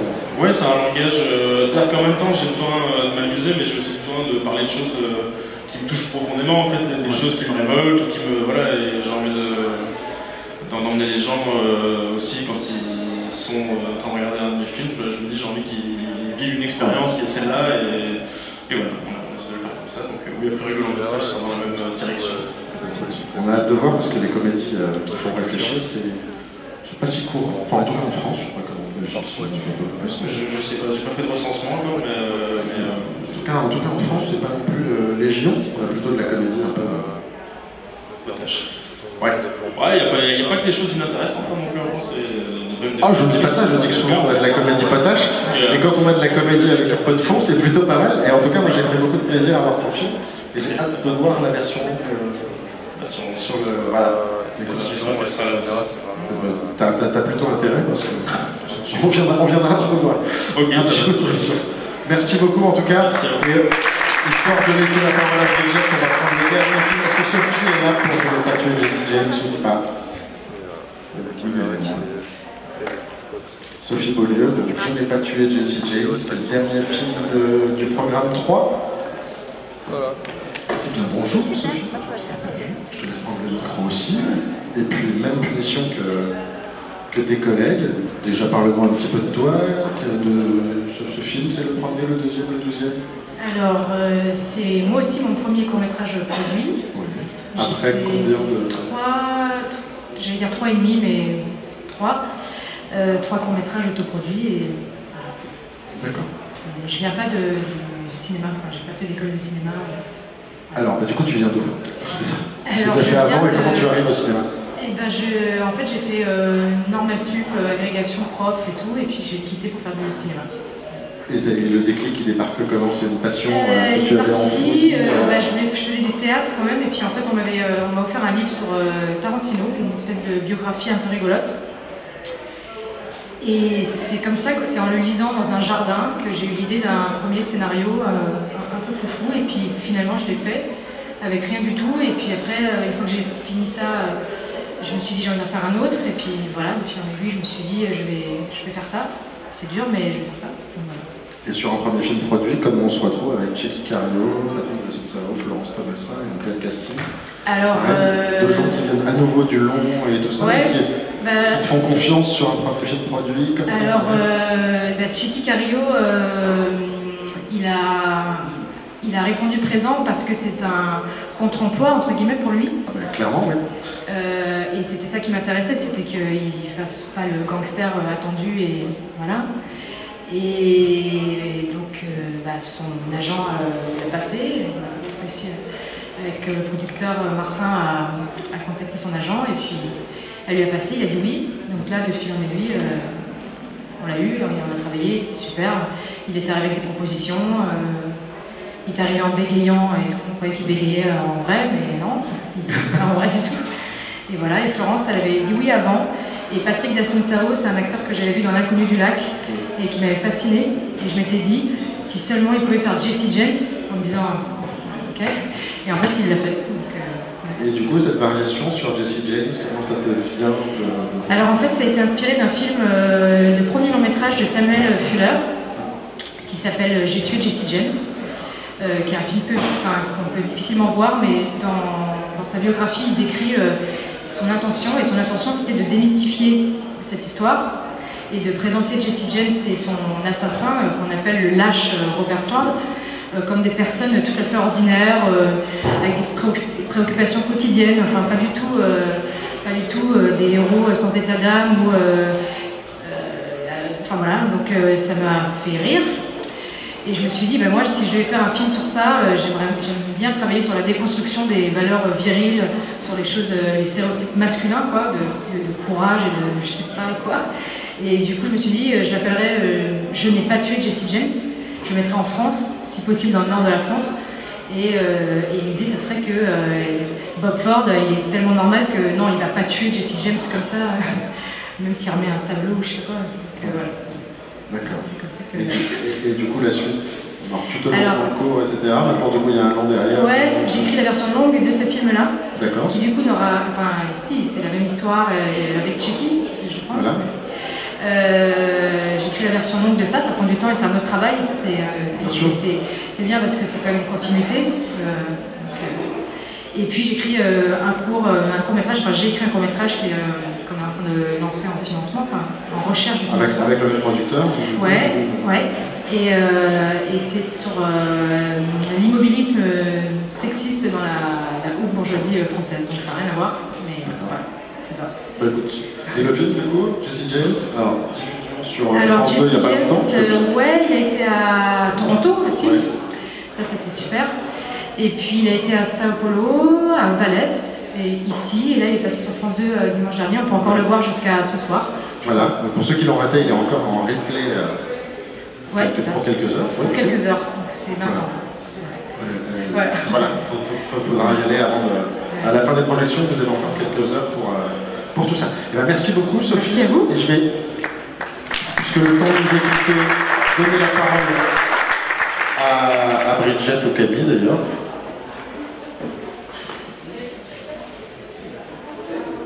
Euh, Rodrigo, c'est Rodrigo, c'est ça Qui doit être avec Camille, parce que Rodrigo est là. Ben, du coup, on va, passer la parole à, à, Bridget qui va enchaîner. Merci beaucoup, euh. Bonsoir. Uh, team uh, for Flan? Sebastian Katz, please. Thank you.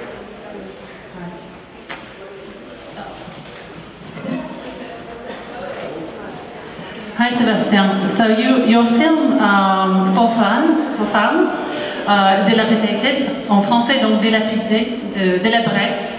Uh, you uh, can you explain? It, it's a cours d'école, so it's a student film. Can you explain to us a bit how you came about the subject, the writing of it, the, the, the, the la genèse du film? Comment est-ce que tu euh, Sure. Um, yeah, the base of the film actually started because um, just when I started film school, my father almost died, and uh, I thought about what would the worst case scenario, what would happen to my family, and uh, I wanted to talk about uh, unhealthy family relations and what happens when they are put under pressure.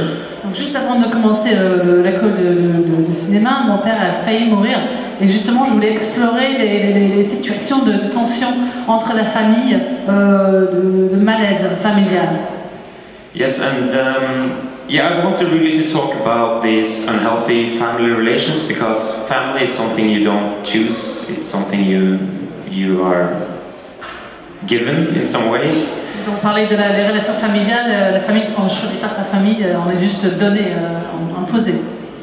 And um, how it can be very difficult to see how bad it can be, and at the same time, there's a strong love, and these uh, contradicting forces are something that I find really interesting. And uh, yeah. Comment est-ce qu'on peut voir dans une famille comment être très très mauvais, très malsain, et en même temps il y a beaucoup d'amour. Et cette contradiction ensemble, c'est ce qui m'intéresse dans, dans, dans ce film. And uh, yeah, in, in the base of the story, there is this uh, sibling relationship between the brother and the sister. Uh, I find it very beautiful and very sore because these two people they mirror their family, like the history of the family.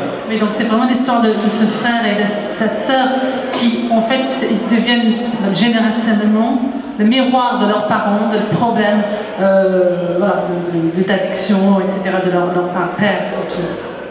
Yes, and um, so they they um, what you call it? Um, they uh, re, re, remake what has happened before, and uh, they cannot uh, help it in some ways. Oui, ils recréent en fait euh, ce qui s'est passé auparavant et c'est plus fort qu'eux. C'est And uh, yeah, so that was why I made this film. I wanted people to maybe think about or be moved by this story and maybe think about their own families. Uh, if they have a good family, I wanted them to uh, take care of their family. And uh, if they are in a bad place, maybe I wanted them to see something that could mirror their own situation and maybe help them in some way. Yeah, c'est vrai. Euh, oui, je voulais dans ce film, ce film euh, parler de la famille et que même les gens regardent un peu leur propre famille, qu'ils se disent peut-être qu'il y a des choses qu'on peut améliorer, euh, se, parler mieux, se traiter mieux, et, euh, ça fonctionne. Justement, je, euh, voulais vous demander euh, par rapport aux comédiens, justement, il y a une vraie une grande justesse dans le jeu. Uh, how did you go casting of the, the actors? Because it's very, very precise, it's very natural. Um, I started with the, the woman, Kristen, the main character. Um, I had about 15 to 20 professional actresses in for casting. Um, but what I always do when I cast, of course, because for me casting is the most important part of the process, really. Um, I try to see what's obvious in the script. This is a character that is very easy, uh, or what you call it, she's kind of passive. So I wanted someone who is strong in their heart, um, not someone that is weak in some ways, some, someone that is very over sentimental. I wanted someone that is really strong. Oui, donc euh, quand je fais du casting, je m'attache beaucoup, beaucoup d'importance. C'est une étape très importante. Et euh, j'en ai vu une quinzaine de personnes pour le personnage principal de la sœur Christine. Et quand je fais du casting, euh, je procède ainsi. Je lis par rapport au personnage les traits forts. Là, en l'occurrence, c'était une personne assez passive euh, et forte. Donc, j'ai voulu une, une, euh, une actrice avec ce- cette personnalité aussi forte, qui soit, euh, voilà, euh, And uh, after I had found uh, Christine, it was very important to try and find someone who you can feel that they have known each other for a long time. Because uh, when you are with your family, you don't need to say very much. Um, it's something you just feel that these people they are they have known each other their whole lives. Uh, so I was very lucky. Uh, the man that plays her brother, they went to school together actually. So when the first time they met in the room, I just felt like this is this is them. Uh, so so yeah. Donc euh, du coup la suite euh, coulait de source, c'est-à-dire que je voulais retrouver surtout des gens qui, comme s'ils se connaissaient déjà, comme une famille, c'est-à-dire qu'il y a des regards, euh, euh, pas besoin de paroles. Donc il, se trouve que pour jouer le frère, j'ai trouvé quelqu'un qui était à l'école avec elle. Was it, uh, est-ce que c'est elle qui a proposé qu'il vienne au casting ou just euh, pure luck euh, No, it was kind of just pure luck. I tried her with many different male characters as well. But the thing was with uh, this male character is uh, he's a very aggressive uh, person. Uh, he doesn't have much control of his own emotions. And when I had male uh, actors in the, for casting, there were a lot of uh, very aggressive actors um, who didn't portray what I thought was in the core. Because uh, Johan, when he is aggressive, it's because of pain, not anger. It's because he feels neglected and he wants to cry when he screams, not hit, you know? Yeah. So.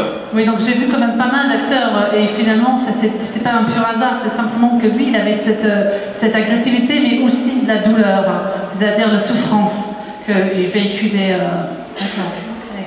And uh, do you, uh, I'm sorry, quick, because we have a lot of directors. Do you, uh, tu, tu, tu, as des projets, quelles sont la suite tu, tu réalises déjà, you're already directing uh, other things, uh, I understand, can you tell us a little bit about the next, the future? Uh, yeah, uh, I just finished shooting my new short film. Um, it's actually a French-Norwegian production with a French producer called Pascal Barbier. And it's a short film about a 15-year-old girl who's in love for the first time, and uh, she just wants to spend all her time with this boy, but uh, at the same time she has to fight uh, the Child Protective Services. Ah. So it's uh, another He's older, he's, he's an adult. uh, no, no, no. Uh, he, he- the, the boy she loves is uh, her same age, but she is living uh, alone at home with her older brother, who is a drug addict. Ah. Oui, donc j'ai actuellement, encore- je viens de terminer le tournage de mon prochain court-métrage, so your second one, it. Euh, du coup, euh, une coproduction euh, français-norvégien avec Pascal Palmier. euh. Et donc, c'est l'histoire d'une fille de 15 ans qui est amoureuse, euh, mais qui doit euh, se battre contre les services sociaux, puisqu'elle elle habite toute seule avec son frère qui est euh, drogue, euh, ad- addicté de drogue. Et, uh, well, thank you very much for coming, and uh, Thank you. fingers crossed for a great career with the, uh, the film. Uh, Dario. Dario is here. Ah, yeah. this is so. Thank you for coming, Dario. Uh, uh, microphone. Ciao. Um, your film is also in uh, music. Ossa. Ossa. Ossa. okay. In music, film music. Uh, can you resume it very shortly uh, and tell us a little bit about yourself? Um, just uh, short. Um, I am uh, from Italy, from Milan. Uh, actually, I'm from Florence because it's where I grew up, and I studied uh, animation. Then I started with the stop motion. I didn't decide to do uh, stop motion. It was my destiny, probably. Uh, and I learned it from a really, real good master. Uh, his name is uh, Francesco Misseri.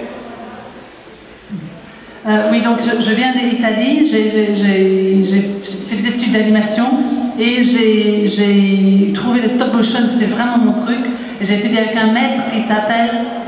Francesco Misseri, he, he was the first one to use the stop motion in Italy. Donc le premier à utiliser le stop motion en Italie. On va passer très vite au, au film parce qu'on n'a pas beaucoup de temps. Uh, it's a very uh, beautiful imagery uh, film, and um, I, I you did another film before that Otto. Otto. Otto is my Oui. first one and Ossa is the second one. And it's very interesting, c'est très intéressant parce qu'il a fait un, film euh, pareil en stop motion avant, qui était très fluide. And, and this one is more uh, bones. Yes. Euh, Donc c'est beaucoup plus au niveau des, des ossements. Et, et, et can you talk just a little bit about the what you wanted to portray, ce que tu voulais nous, nous dire, nous, nous toucher par, par ce donc par euh, Uh, you mean what? this one. Uh, Awesome. Uh, uh, there was no uh, story. Actually, I, I, I didn't have a story, so I just started with uh, visions and images. I don't suggest to someone when they start a short film without a story. But uh, I mean, I'm honest. I, I didn't have a story. I just uh, want to do a film about some visions that I had. Donc j'avais pas vraiment d'histoire, en fait je voulais juste faire un film sur les visions que j'avais. C'est vrai que c'est un luxe de commencer du stop motion sans scénario, but uh, there is uh, uh, uh, lots of um, uh, parallels with where you see hands come in, the camera. Yeah, was I mean there was no story, but there was an idea to take something simple, like uh, a ballerina in a set, in the center of a set, and then to break uh, everything, break everything, like the puppet, the set, and also the, the timing. Voilà, donc oui, c'était comme une idée de mettre, de créer cette ballerine au, au sein d'un théâtre qui, qui finalement reflects life un peu, reflète un peu la vie aussi, qu'on peut manipuler et qu'elle se fait casser, que ce sont même des décors aussi qui cassés. Uh, yeah, it's, uh, That was, I mean, was uh, the experiment was to do that, to structure everything, and then uh, the story come out. Maybe I was I was lucky because when you work in animation, I mean, when you want to talk about the animation process, that was the idea to speak about the stop motion, what what you have inside the stop motion animation and what you have behind the animation. And then probably when you talk about the animation, you you talk about life also. Oui, donc c'était pas vrai quand j'ai dit qu'il n'y avait pas d'histoire. C'est quand on parle d'un film stop motion en stop motion, forcément on raconte un petit peu la vie de ce que c'est que de construire un film. Donc du coup, c'est ça qui est reflété dans le film. Les interventions de, de, de la maquetterie, de la, la- la caméra, de la main. Uh, okay, well, I, uh, and you, you've obviously been, uh, this film has been quite a few festivals. Uh, I, I, where is it? How, how long has you filmed? Combien de temps uh, tu finis? Uh, to make it, you Uh, mean? no, when, when did you finish it? two years. Oh, two years. In two years, yes. So you have some projects, some future projects? Uh, I have something, but I didn't start already. No, not started. Yes, it's just in my mind. Okay, well, good luck for that, and uh, and I hope you uh, have a good uh, good um, life with uh, also. Thank you. Thank you very much. Thank you. Thank you. Bye bye.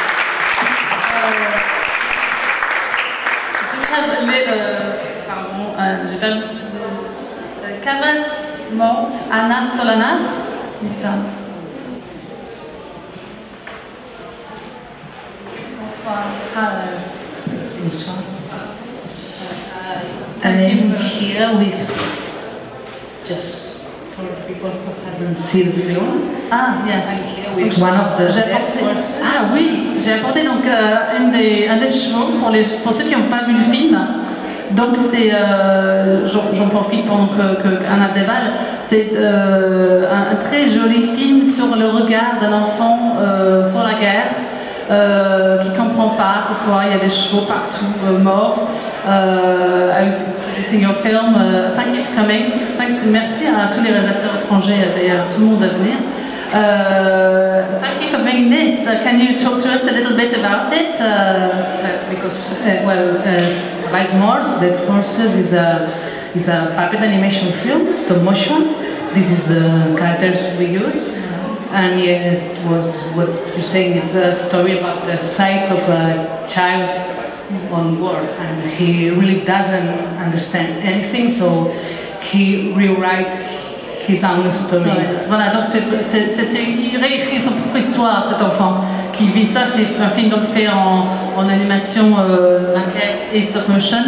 Um, you've been made many, many films, and uh, uh, this one, how long, for example, would this take? So, donc, euh, Anna, avec, euh, euh, you have uh, Marc euh, beaucoup de travail, beaucoup de films déjà faits ensemble.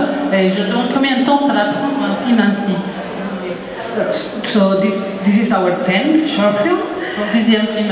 And it took around one year to make it because, uh, of course, as when you start, you you have nothing and you have to start building everything, the sets, the puppets, and then animate frame by frame all the story. donc ça a pris un an quand même, euh, le décor, les marionnettes, euh, et puis mettre en, en scène euh, petit à petit. Voilà. And uh, you, uh, you've traveled a lot with the film already? Vous avez déjà voy- voyagé. euh, Yeah, uh, we we've been lucky, and uh, the movie is it's it's being uh, appreciated uh, everywhere. So yeah, we've been we we the. I mean, the first screening was one year ago. Oh, right. So So we've it's been more or less Yeah. one year just. Oh, that's good, that's good. Et j'en profite euh, parce que un petit peu, uh, that the sound design is very important in this film. Did you, do you have the same team? Is the, com- donc le travail sonore est très important dans ce film. euh, donc je demande comment elle fait qu'on peut collaborer. It's a funny question because I'm the sound designer too.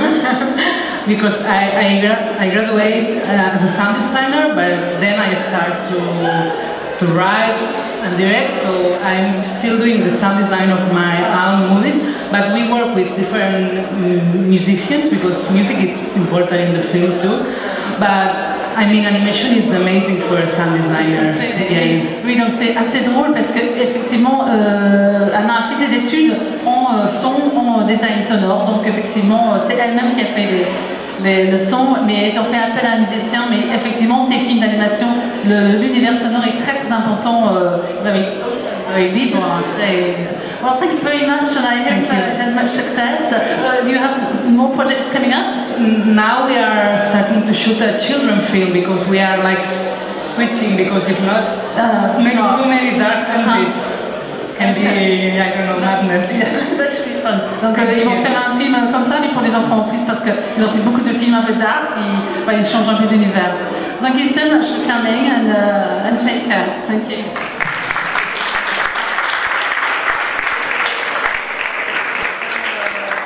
Uh, Giovanni, are you here? Uh, Fiato Corto? No, no Giovanni.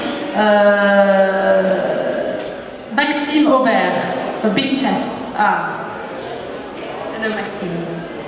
Oh.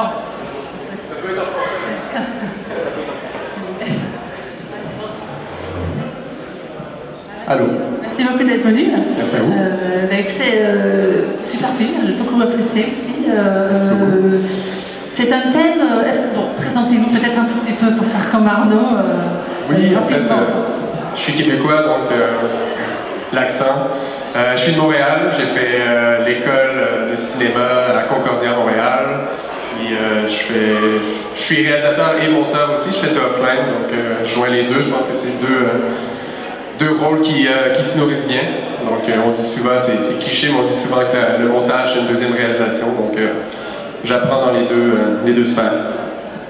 Et, c'est très intéressant parce que ce thème harcèlement, c'est pas très très souvent vu hein, dans les courts-métrages, c'est un thème assez sérieux. Euh, comment tu es arrivé à, aborder ce sujet? En fait, euh, au tout début, la genèse du projet était vraiment autour de, de la course navette, le beat test. Donc, euh, je trouvais que ça avait une connotation euh, expérimentale avec des rangs, dans le sens que nous, au Québec, en fait, c'est la hantise parce que c'est obligatoire. Tu l'as fait? Oui, tout à fait. Tout, tout le monde passe par là, en fait, à l'école secondaire. Donc, il, y a cet e- il y a- il y avait cet effet-là qui, qui m'intriguait énormément. Ça pouvait être un contexte qui pouvait laisser place à tout plein de, de situations. Puis, je suis parti de, de- de l'intimidation. Oui, c'est sur l'intimidation, mais je pense que c'est c'est aussi sur une revanche, en fait. Tout à fait. Une revanche indirecte, Oui. un peu euh, weird. Tout à fait, Donc, oui. c'est ça, exactement. Et le comédien, il est inc- incroyable. Comment tu as trouvé? Euh, incroyable. Donc, euh, en fait, le, mon trio, euh, c'est, j'ai vraiment été bien entouré côté Tu jeu. as fait casting Oui. En fait, le personnage principal, Théodore, à 75% de l'écriture du scénario, en fait, j'ai commencé à l'avoir en tête pour le rôle, quelqu'un m'en avait parlé, puis à partir de ce moment-là, j'ai entretenu une relation d'égout. Il- Au début, il voulait pas non plus. il était trop, trop occupé au moment où est-ce qu'on allait tourner, mais finalement, j'ai réussi à le convaincre et tout. On était allé prendre un café, puis je lui ai expliqué le projet, puis embarqué. C'est un, un jeune comédien qui, qui, qui commence Oui. Ah oui, tout à fait. Il, il commence à être de- dans plus en plus de films, en fait. Euh, Je sais pas qu'est-ce qui, qui, qui est exporté ici euh, en France, mais vous allez le voir. D'accord. Et bon, dernière question, parce que quelques personnes. Euh, donc, tu viens monter, en fait. Tu disais, tu, tu viens de montage. Finalement, est-ce que c'est si évident que ça Parce que c'est bien aussi d'avoir un regard extérieur? Comment ça s'est passé? Tu l'as montré à d'autres monteurs? Euh Ben, en fait, oui, effectivement, euh, monter ses, ses propres réalisations, c'est c'est un défi.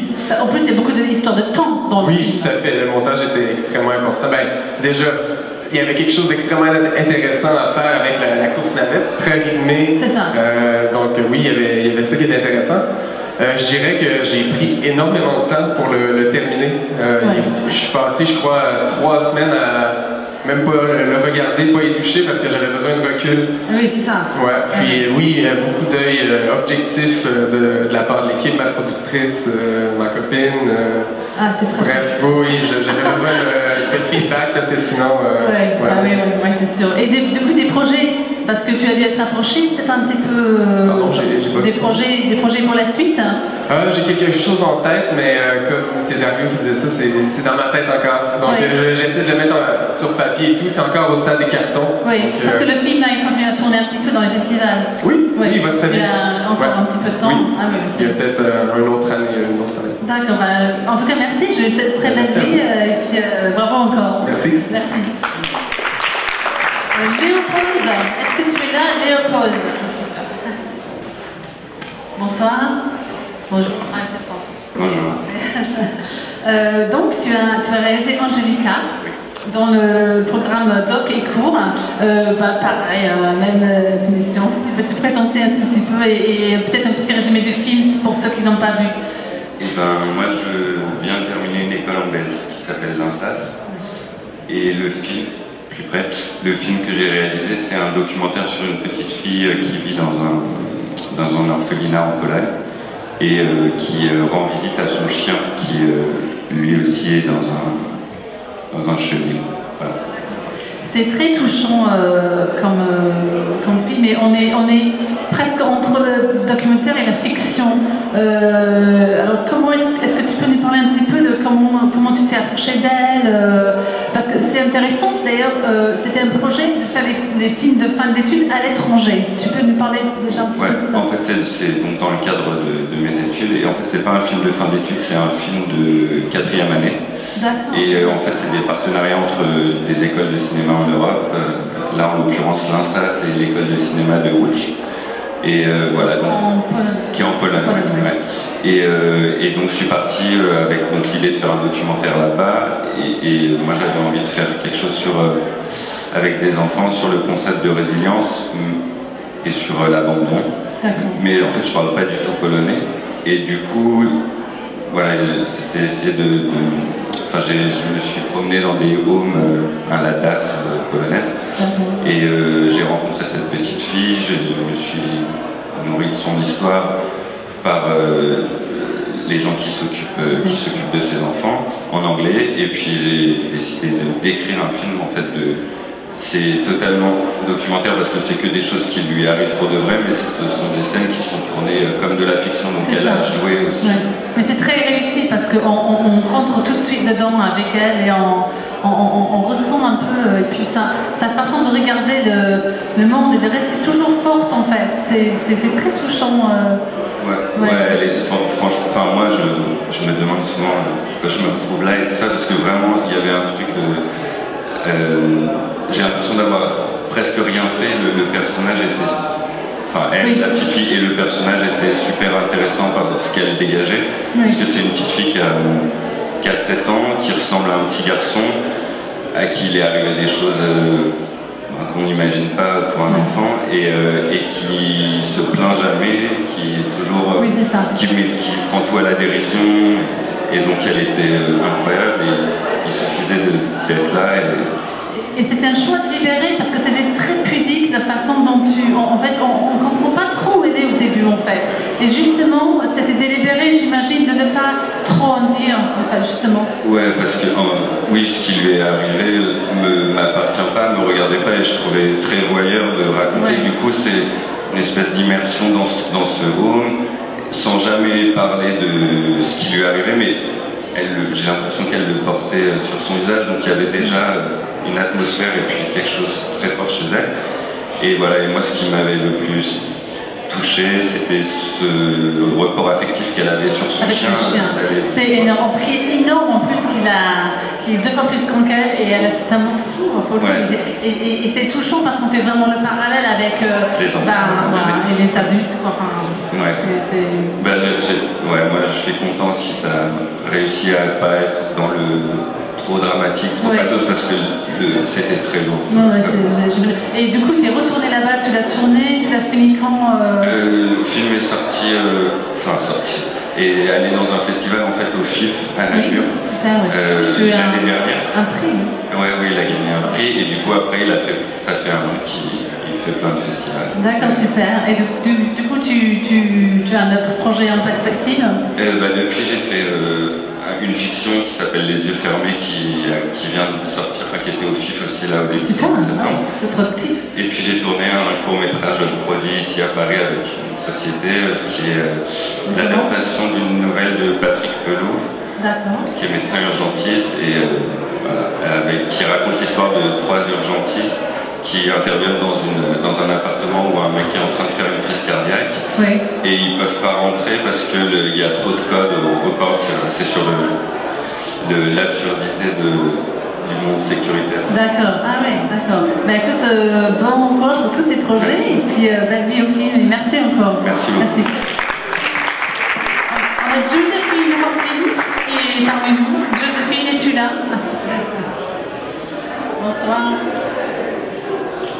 Donc tu parles en français, es pénal. Bonsoir. Donc euh, Joséphine, donc, pour son film Le jour et Manon est devenu un monstre, qui est dans la sélection cours d'école. Euh, bravo pour le film. Euh, Est-ce que donc tu, tu peux nous parler un petit peu de cette idée, de faire un très bref résumé pour ceux qui n'auraient pas vu, et, et voilà, nous parler de ce film qui est qui commence, voilà, qui se prend et qui après on est complètement happé euh, par la fin. Euh, alors, euh, le jour où maman est devenue un monstre, c'est l'histoire de Candice, une petite fille de 9 ans, euh, qui vit seule avec sa mère juste après la séparation de ses parents. Et du coup, à mesure où la date de son anniversaire approche, elle se réjouit à l'idée de revoir son père, sauf que le comportement de sa mère commence à changer. Et à partir de là, c'est le cauchemar. Il y, a, quelque chose de très joli dans le regard de l'enfant euh, qui voit toujours sa mère, euh, même quand elle devient grotesque. En fait, il y a cet amour euh, inconditionnel. Tu, tu, tu as un travail là-dessus dans l'écriture. Oui, oui, parce que ce que j'avais envie de dire, c'est que toutes les mères sont des monstres, mais on les aime quand même. Et voilà, c'est un peu le message du film. Et, et tes comédiennes, euh, elles sont, elles sont très très bonnes. Quand tu les as trouvées au casting ou euh, pour la petite Ah fille euh, Ouais, c'était du, du casting. Euh, la petite, euh, c'était la première fois qu'elle a joué dans un film, donc vraiment, voilà, on en a casté plein et avec elle, le courant est super bien passé, donc on l'a choisi. Oui, on sent qu'elles elles s'entendent bien en plus. Il y avait un vrai. Ouais, ouais, ouais. Et, euh, et Gretel, bah pareil, c'est du casting, mais Gretel, euh, c'est une comédienne professionnelle, celle qui joue la mère. Et euh, elle est même prof, euh, prof au cours Florent, tout ça. Parle-nous un petit peu de. C'est un film de fin d'études qui, qui finalement a beaucoup de moyens, notamment le maquillage, enfin cette transformation. Tu veux nous parler un petit peu de ça C'était comment pour la comédienne le matin C'était 4 heures du matin ou... Ouais. de faire des, des films de genre, des films fantastiques, euh, qui demandent beaucoup d'effets spéciaux et de maquillage. Et du coup, sur le film précédent, j'avais rencontré euh, David Scherer, qui est un grand maquilleur effets spéciaux euh, français. euh, sur Margot, du coup, le film que j'avais réalisé avec mon collectif, les films de la mouche. Et, et là, c'était la première fois sur le jour où maman est devenue un monstre que j'ai écrit et réalisé toute seule. Et euh, du coup, j'ai retravaillé avec David Scherer, qui, est, euh, qui est vraiment, vraiment super. Et euh, du coup, ouais, c'était hyper douloureux pour la comédienne parce qu'elle avait un maquillage de la tête aux pieds, parce que c'est une mutation qui évolue pendant le film et à la fin, elle est complètement transformée en espèce de reptile. Voilà, mais du coup, elle avait du latex partout et dès qu'elle se pliait, quand elle se relevait, comme on pouvait pas. euh, comme on pouvait pas lubrifier le maquillage sinon ça se décollait, bah, ça se collait et ça lui, ça lui, ça lui brûlait la peau quand elle se relevait. Et- en plus avec les lentilles sclérales euh, qui remplissaient tout l'œil, c'était un enfer pour elle. Mais, Ah ouais, ah ouais. mais elle s'en est très bien sortie et c'était super. Et euh, évidemment, en référence un peu à la mouche, hein, l'univers de Cronenbourg, c'est quelque chose qui, te- qui, qui vous inspire qui te... Oui, oui, oui, la mouche, euh, oui, oui, la mouche, c'était une des, des références pour, euh, pour le film, bien sûr, parce que c'est voilà, c'est dans le genre du body horror. Donc euh, c'était pour, euh, enfin, c'est un genre très intéressant parce que ça permet de, de parler de, de, de la dégradation psychologique d'un personnage en, en traitant directement euh, sa destruction charnelle. C'est ça. Du coup, c'est très lié à l'intime et ça fait que c'est que c'est passionnant, je trouve. Oui, et c'est tiré d'un conte, tu peux juste nous dire de, bon, deux minutes euh, par rapport au conte, euh, comment vous y arrivez là-dessus? Alors, euh, en fait, c'était c'est un livre pour enfants qui s'appelle euh, Maman est un monstre, je crois en français. Et c'est une histoire que ma mère me lisait quand j'étais petite. Et c'est une histoire d'une mère qui se transforme petit à petit en monstre parce que ses enfants ne l'aident pas à faire le ménage. Voilà. Et du coup, euh, j'ai voulu euh, librement interpréter cette histoire en la transformant en drame fantastique. Euh, et en utilisant cette base pour traiter la complexité d'une relation mère-fille après le départ du père. Est-ce que l'auteur a pu voir le film pu... Euh, non, j'aimerais bien qu'elle le voie, mais je ne sais pas comment la contacter. Ah, mais je vais essayer. Ouais, Bon, en tout cas, euh, et des projets un petit peu, du coup, maintenant que tu es sortie de l'école Euh, ouais, là je viens de finir l'écriture d'un nouveau court-métrage. Super, avec une production Euh, Je cherche. Ah, justement. un peu avancé. voilà, je cherche. Et là, cette fois, c'est plus de la science-fiction. D'accord, oui, donc c'est assez ciblé. Ouais, ouais. Ah, un euh, 22 minutes, pareil, parce que c'est assez... Euh, ouais, ça va être un petit peu plus long que celui-là, je pense. 25, 28. En dessous de 30, c'est sûr. Ouais. mais, Ouais. euh, Ah bah super, bah écoute, belle vie, puis euh, bon courage pour tous les projets. Merci beaucoup. merci beaucoup. Merci, au revoir. Donc, dernier rappel, on n'a pas le, donc, le réalisateur de Breathless. Non, hein, Giovanni, il n'est pas là, Giovanni. Et euh, est-ce qu'on a, est-ce que j'ai oublié personne? Est-ce que, ah, bien. Brother, oui, brother, brother, come, come. Léa, Léa. Voilà, C'était du français, donc je me suis dit, je fais les anglais d'abord. Excuse-moi. Bonsoir Léa. Mais oui, oui, oui. Très bon film. Merci beaucoup d'être venu. Euh, donc tu peux nous parler rapidement euh, de pourquoi tu es parti aux États-Unis faire ce film voilà ton parcours. Enfin, ton- euh. Euh, D'abord pour le film, donc c'est un contexte très particulier. Je suis partie en résidence pendant trois mois euh, à la Nouvelle-Orléans avec l'idée de continuer mes investigations sur le deuil et faire des portraits d'adolescentes. D'accord. Donc euh, voilà, dans mes recherches, je suis tombée sur un centre communautaire où j'ai fait un workshop avec des adolescentes et j'ai eu la chance de rencontrer ces trois sœurs qui sont dans le film. J'ai écrit un scénario, je leur ai proposé de, voilà, de travailler ensemble et fait comme ça. Ah c'est très réussi. Et il y a, en plus, ça, montre le côté dur du monde, le côté difficile, le- le- les, problématiques d'une famille euh, dans, le deuil et, dans, la souffrance. Mais en même temps, c'est très poétique. Il y a, des plans qui, qui me font penser à Malik. Euh, il y a des plans. C'est- C'est c'est un parti pris parce que c'est pas évident de, traiter un sujet assez dur, mais avec voilà, comment, comment tu t'es Euh, donc l'idée c'était vraiment l'idée de portrait, donc de, de ces trois sœurs et de partir sur euh, l'idée d'après. Donc après le, le moment de la mort et ces trois sœurs qui réagissent de différentes façons et de faire un portrait poétique. Voilà, c'est vraiment euh, on est sur leur visage, sur les ambiances, sur euh, ce c'est que ça, a des sons euh, qui n'ont rien à voir avec les plans, ou euh, c'est la façon dont il y en a une qui intériorise l'histoire. Enfin, c'est oui, presque expérimental sur certaines facettes. Oui, oui, voilà. C'est pas. Euh. Ah oui. Et du coup, tu l'as tourné quand euh En 2015. En décembre 2015, je suis revenue avec les images en France. Après, il y a eu un long temps de voilà, j'ai monté le film. Et après, avec voilà, un monteur son et le musicien, voilà, on a créé tout l'univers euh, C'est ça. sonore. C'est assez long pour un film autoproduit, c'est- c'est long et en tout cas c'est c'est très réussi. J'ai- j'ai, euh, Est-ce que, est que tu as d'autres euh, suites? Parce que là du coup il tourne un- pas mal en festival. Ouais, ouais, ouais. C'est super. Tu as, tu as eu d'autres idées de, de, de fiction, documentaire? Euh, alors en ce moment, j'écris mon premier long.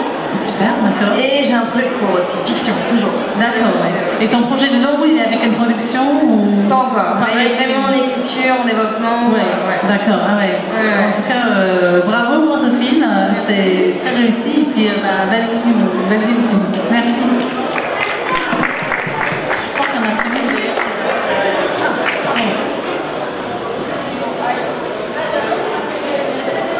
Euh, restez là, restez là, on n'a pas fini. On va donc, euh, euh, non pas Anna, mais Émilie. Émilie, enchantée, donc la productrice de Ice. Je suis super contente parce que quand j'ai appris qu'Anna venait pas, j'étais. Voilà, je voulais vous poser plein de questions. Alors Anna est en Inde fait parce qu'elle est également musicienne et euh, elle a un projet en fait un crossover entre la musique euh, estonienne et la musique indienne. Donc là elle est à New Delhi. À New Delhi. a malheureusement pas pu faire D'accord, non mais Voilà. merci beaucoup de- d'être venu nous parler de, de ce film qui est super touchant, qui est vraiment, euh, voilà, euh, est-ce que, est que vous pouvez nous parler un petit peu de, voilà, comment, comment, comment on arrive à, à travailler avec une Estonienne, c'est ça, sur une plaque de glace. Voilà, dans les Alors, alors, pour résumer, j'ai pas le temps d'en parler parce que c'est vrai que ça a été un projet très compliqué à monter. C'est vraiment tourné sur, euh, sur une route de glace, donc c'est une vraie route de glace. Euh, Il y a 40 cm d'épaisseur et en dessous il y a 30 mètres de fond. Euh, ça n'a pas été tourné en Estonie parce qu'en fait avec le réchauffement climatique, euh, il n'y a plus suffisamment de glace en fait pour tourner euh, en conditions, en plus en amenant une équipe, etc. Ça aurait été beaucoup trop dangereux, donc c'est tourné en Finlande, euh, très au nord, euh, proche du cercle arctique. D'accord, Voilà. Et donc euh, Anna, je l'ai rencontrée, euh, donc, qui est estonienne de, de Tallinn, je l'ai rencontrée dans, dans un forum euh, de coproduction qui est organisé par Nissi Massa. Il y a l'European Short Pitch chaque année qui est organisé par Nissi Massa, qui est un concours de pitch avec... ça se passe où? Alors ça change chaque année, cette année c'était au Luxembourg. D'accord. C'était en 2015 que je l'ai rencontré, le film a été tourné en, en février 2016. D'accord. Parce qu'il fallait attendre justement que la glace soit assez épaisse. Et, euh, Excuse-moi, elle est déjà venue à vous avec son scénario à, ce moment-là c'est ça, le scénario a été écrit. Au début, on n'a pas pu être attaché au projet parce qu'il y avait déjà, euh, il y avait déjà trois coproducteurs en, euh, en Estonie, en Finlande et en, et en Luxembourg. Et, euh, et ensuite, moi je les ai rappelés en février pour savoir hey, comment ça s'est passé le tournage? Et en fait, euh, bah, le, le produ- le coproducteur finlandais qui devait initialement participer au, projet, il n'a pas trouvé d'argent, donc en fait il s'est désengagé juste avant de, de tourner, et donc il n'y avait plus d'argent pour finir le film. donc on- Vous avez sauvé le film euh, euh, ouais, c'est peut-être pas un grand mot. Ça s'est terminé. En tout cas, oui, voilà, exactement. Et nous, on avait toujours hyper envie de participer au projet, donc euh, on a fait une partie, on a fini la- une partie de la post-production en France. D'accord, oui, C'est comme ça qu'en fait, on est revenu sur le projet. Après, on est parti. C'est ça, parce est dans, oui, c'est loin, c'est proche, mais c'est un film extrêmement ambitieux, Euh, non seulement au niveau de l'image qui est sublime, mais aussi au niveau du son, de, de la musique. Enfin, Bah là, la post-production euh, sonore, en fait, toute la partie son, euh, le son et l'image, et pardon, le- la musique, ça a été fait en, en France avec un. Bon, l'image, elle est signée d'un. Pardon, je suis fatiguée. La post-production sonore, c'est Obsidian Studio. C'est un studio euh, que on- avec qui on travaille beaucoup, euh, qu'on connaît très bien. Et bah, qu'on fait un super boulot pour vivre l'atmosphère, le vent, la glace, les craquements, etc. Et euh, le compositeur, c'est Romain Trouillet, avec qui on avait déjà fait plusieurs films. Avec des vrais Et, euh, musiciens, des vrais bons sons, Ouais, tout à enregistrés. fait. alors, Oui, c'est avec un, un quatuor, euh, le quatuor des muses. Ouais, un, super- un- un très, beau, très beau film. Et il, fait, il, il marche très bien au festival, j'imagine. Euh, là, il commence à, à bien décoller, ouais, on est très Ouais, contents. Parce qu'il est vraiment extrêmement euh, touchant. On, on- on sent tout le- ce côté fébrile du père qui veut vraiment tout, tout faire et, et voilà, cette descente aux enfers qui finalement a une sorte de beauté quelque part à la fin. Qui, Merci beaucoup. en tout cas, euh, transmettez notre appréciation à Anna. Je, je lui dirai quand elle sera revenue d'un- avec grand Ah oui. plaisir. Merci beaucoup, Rémi.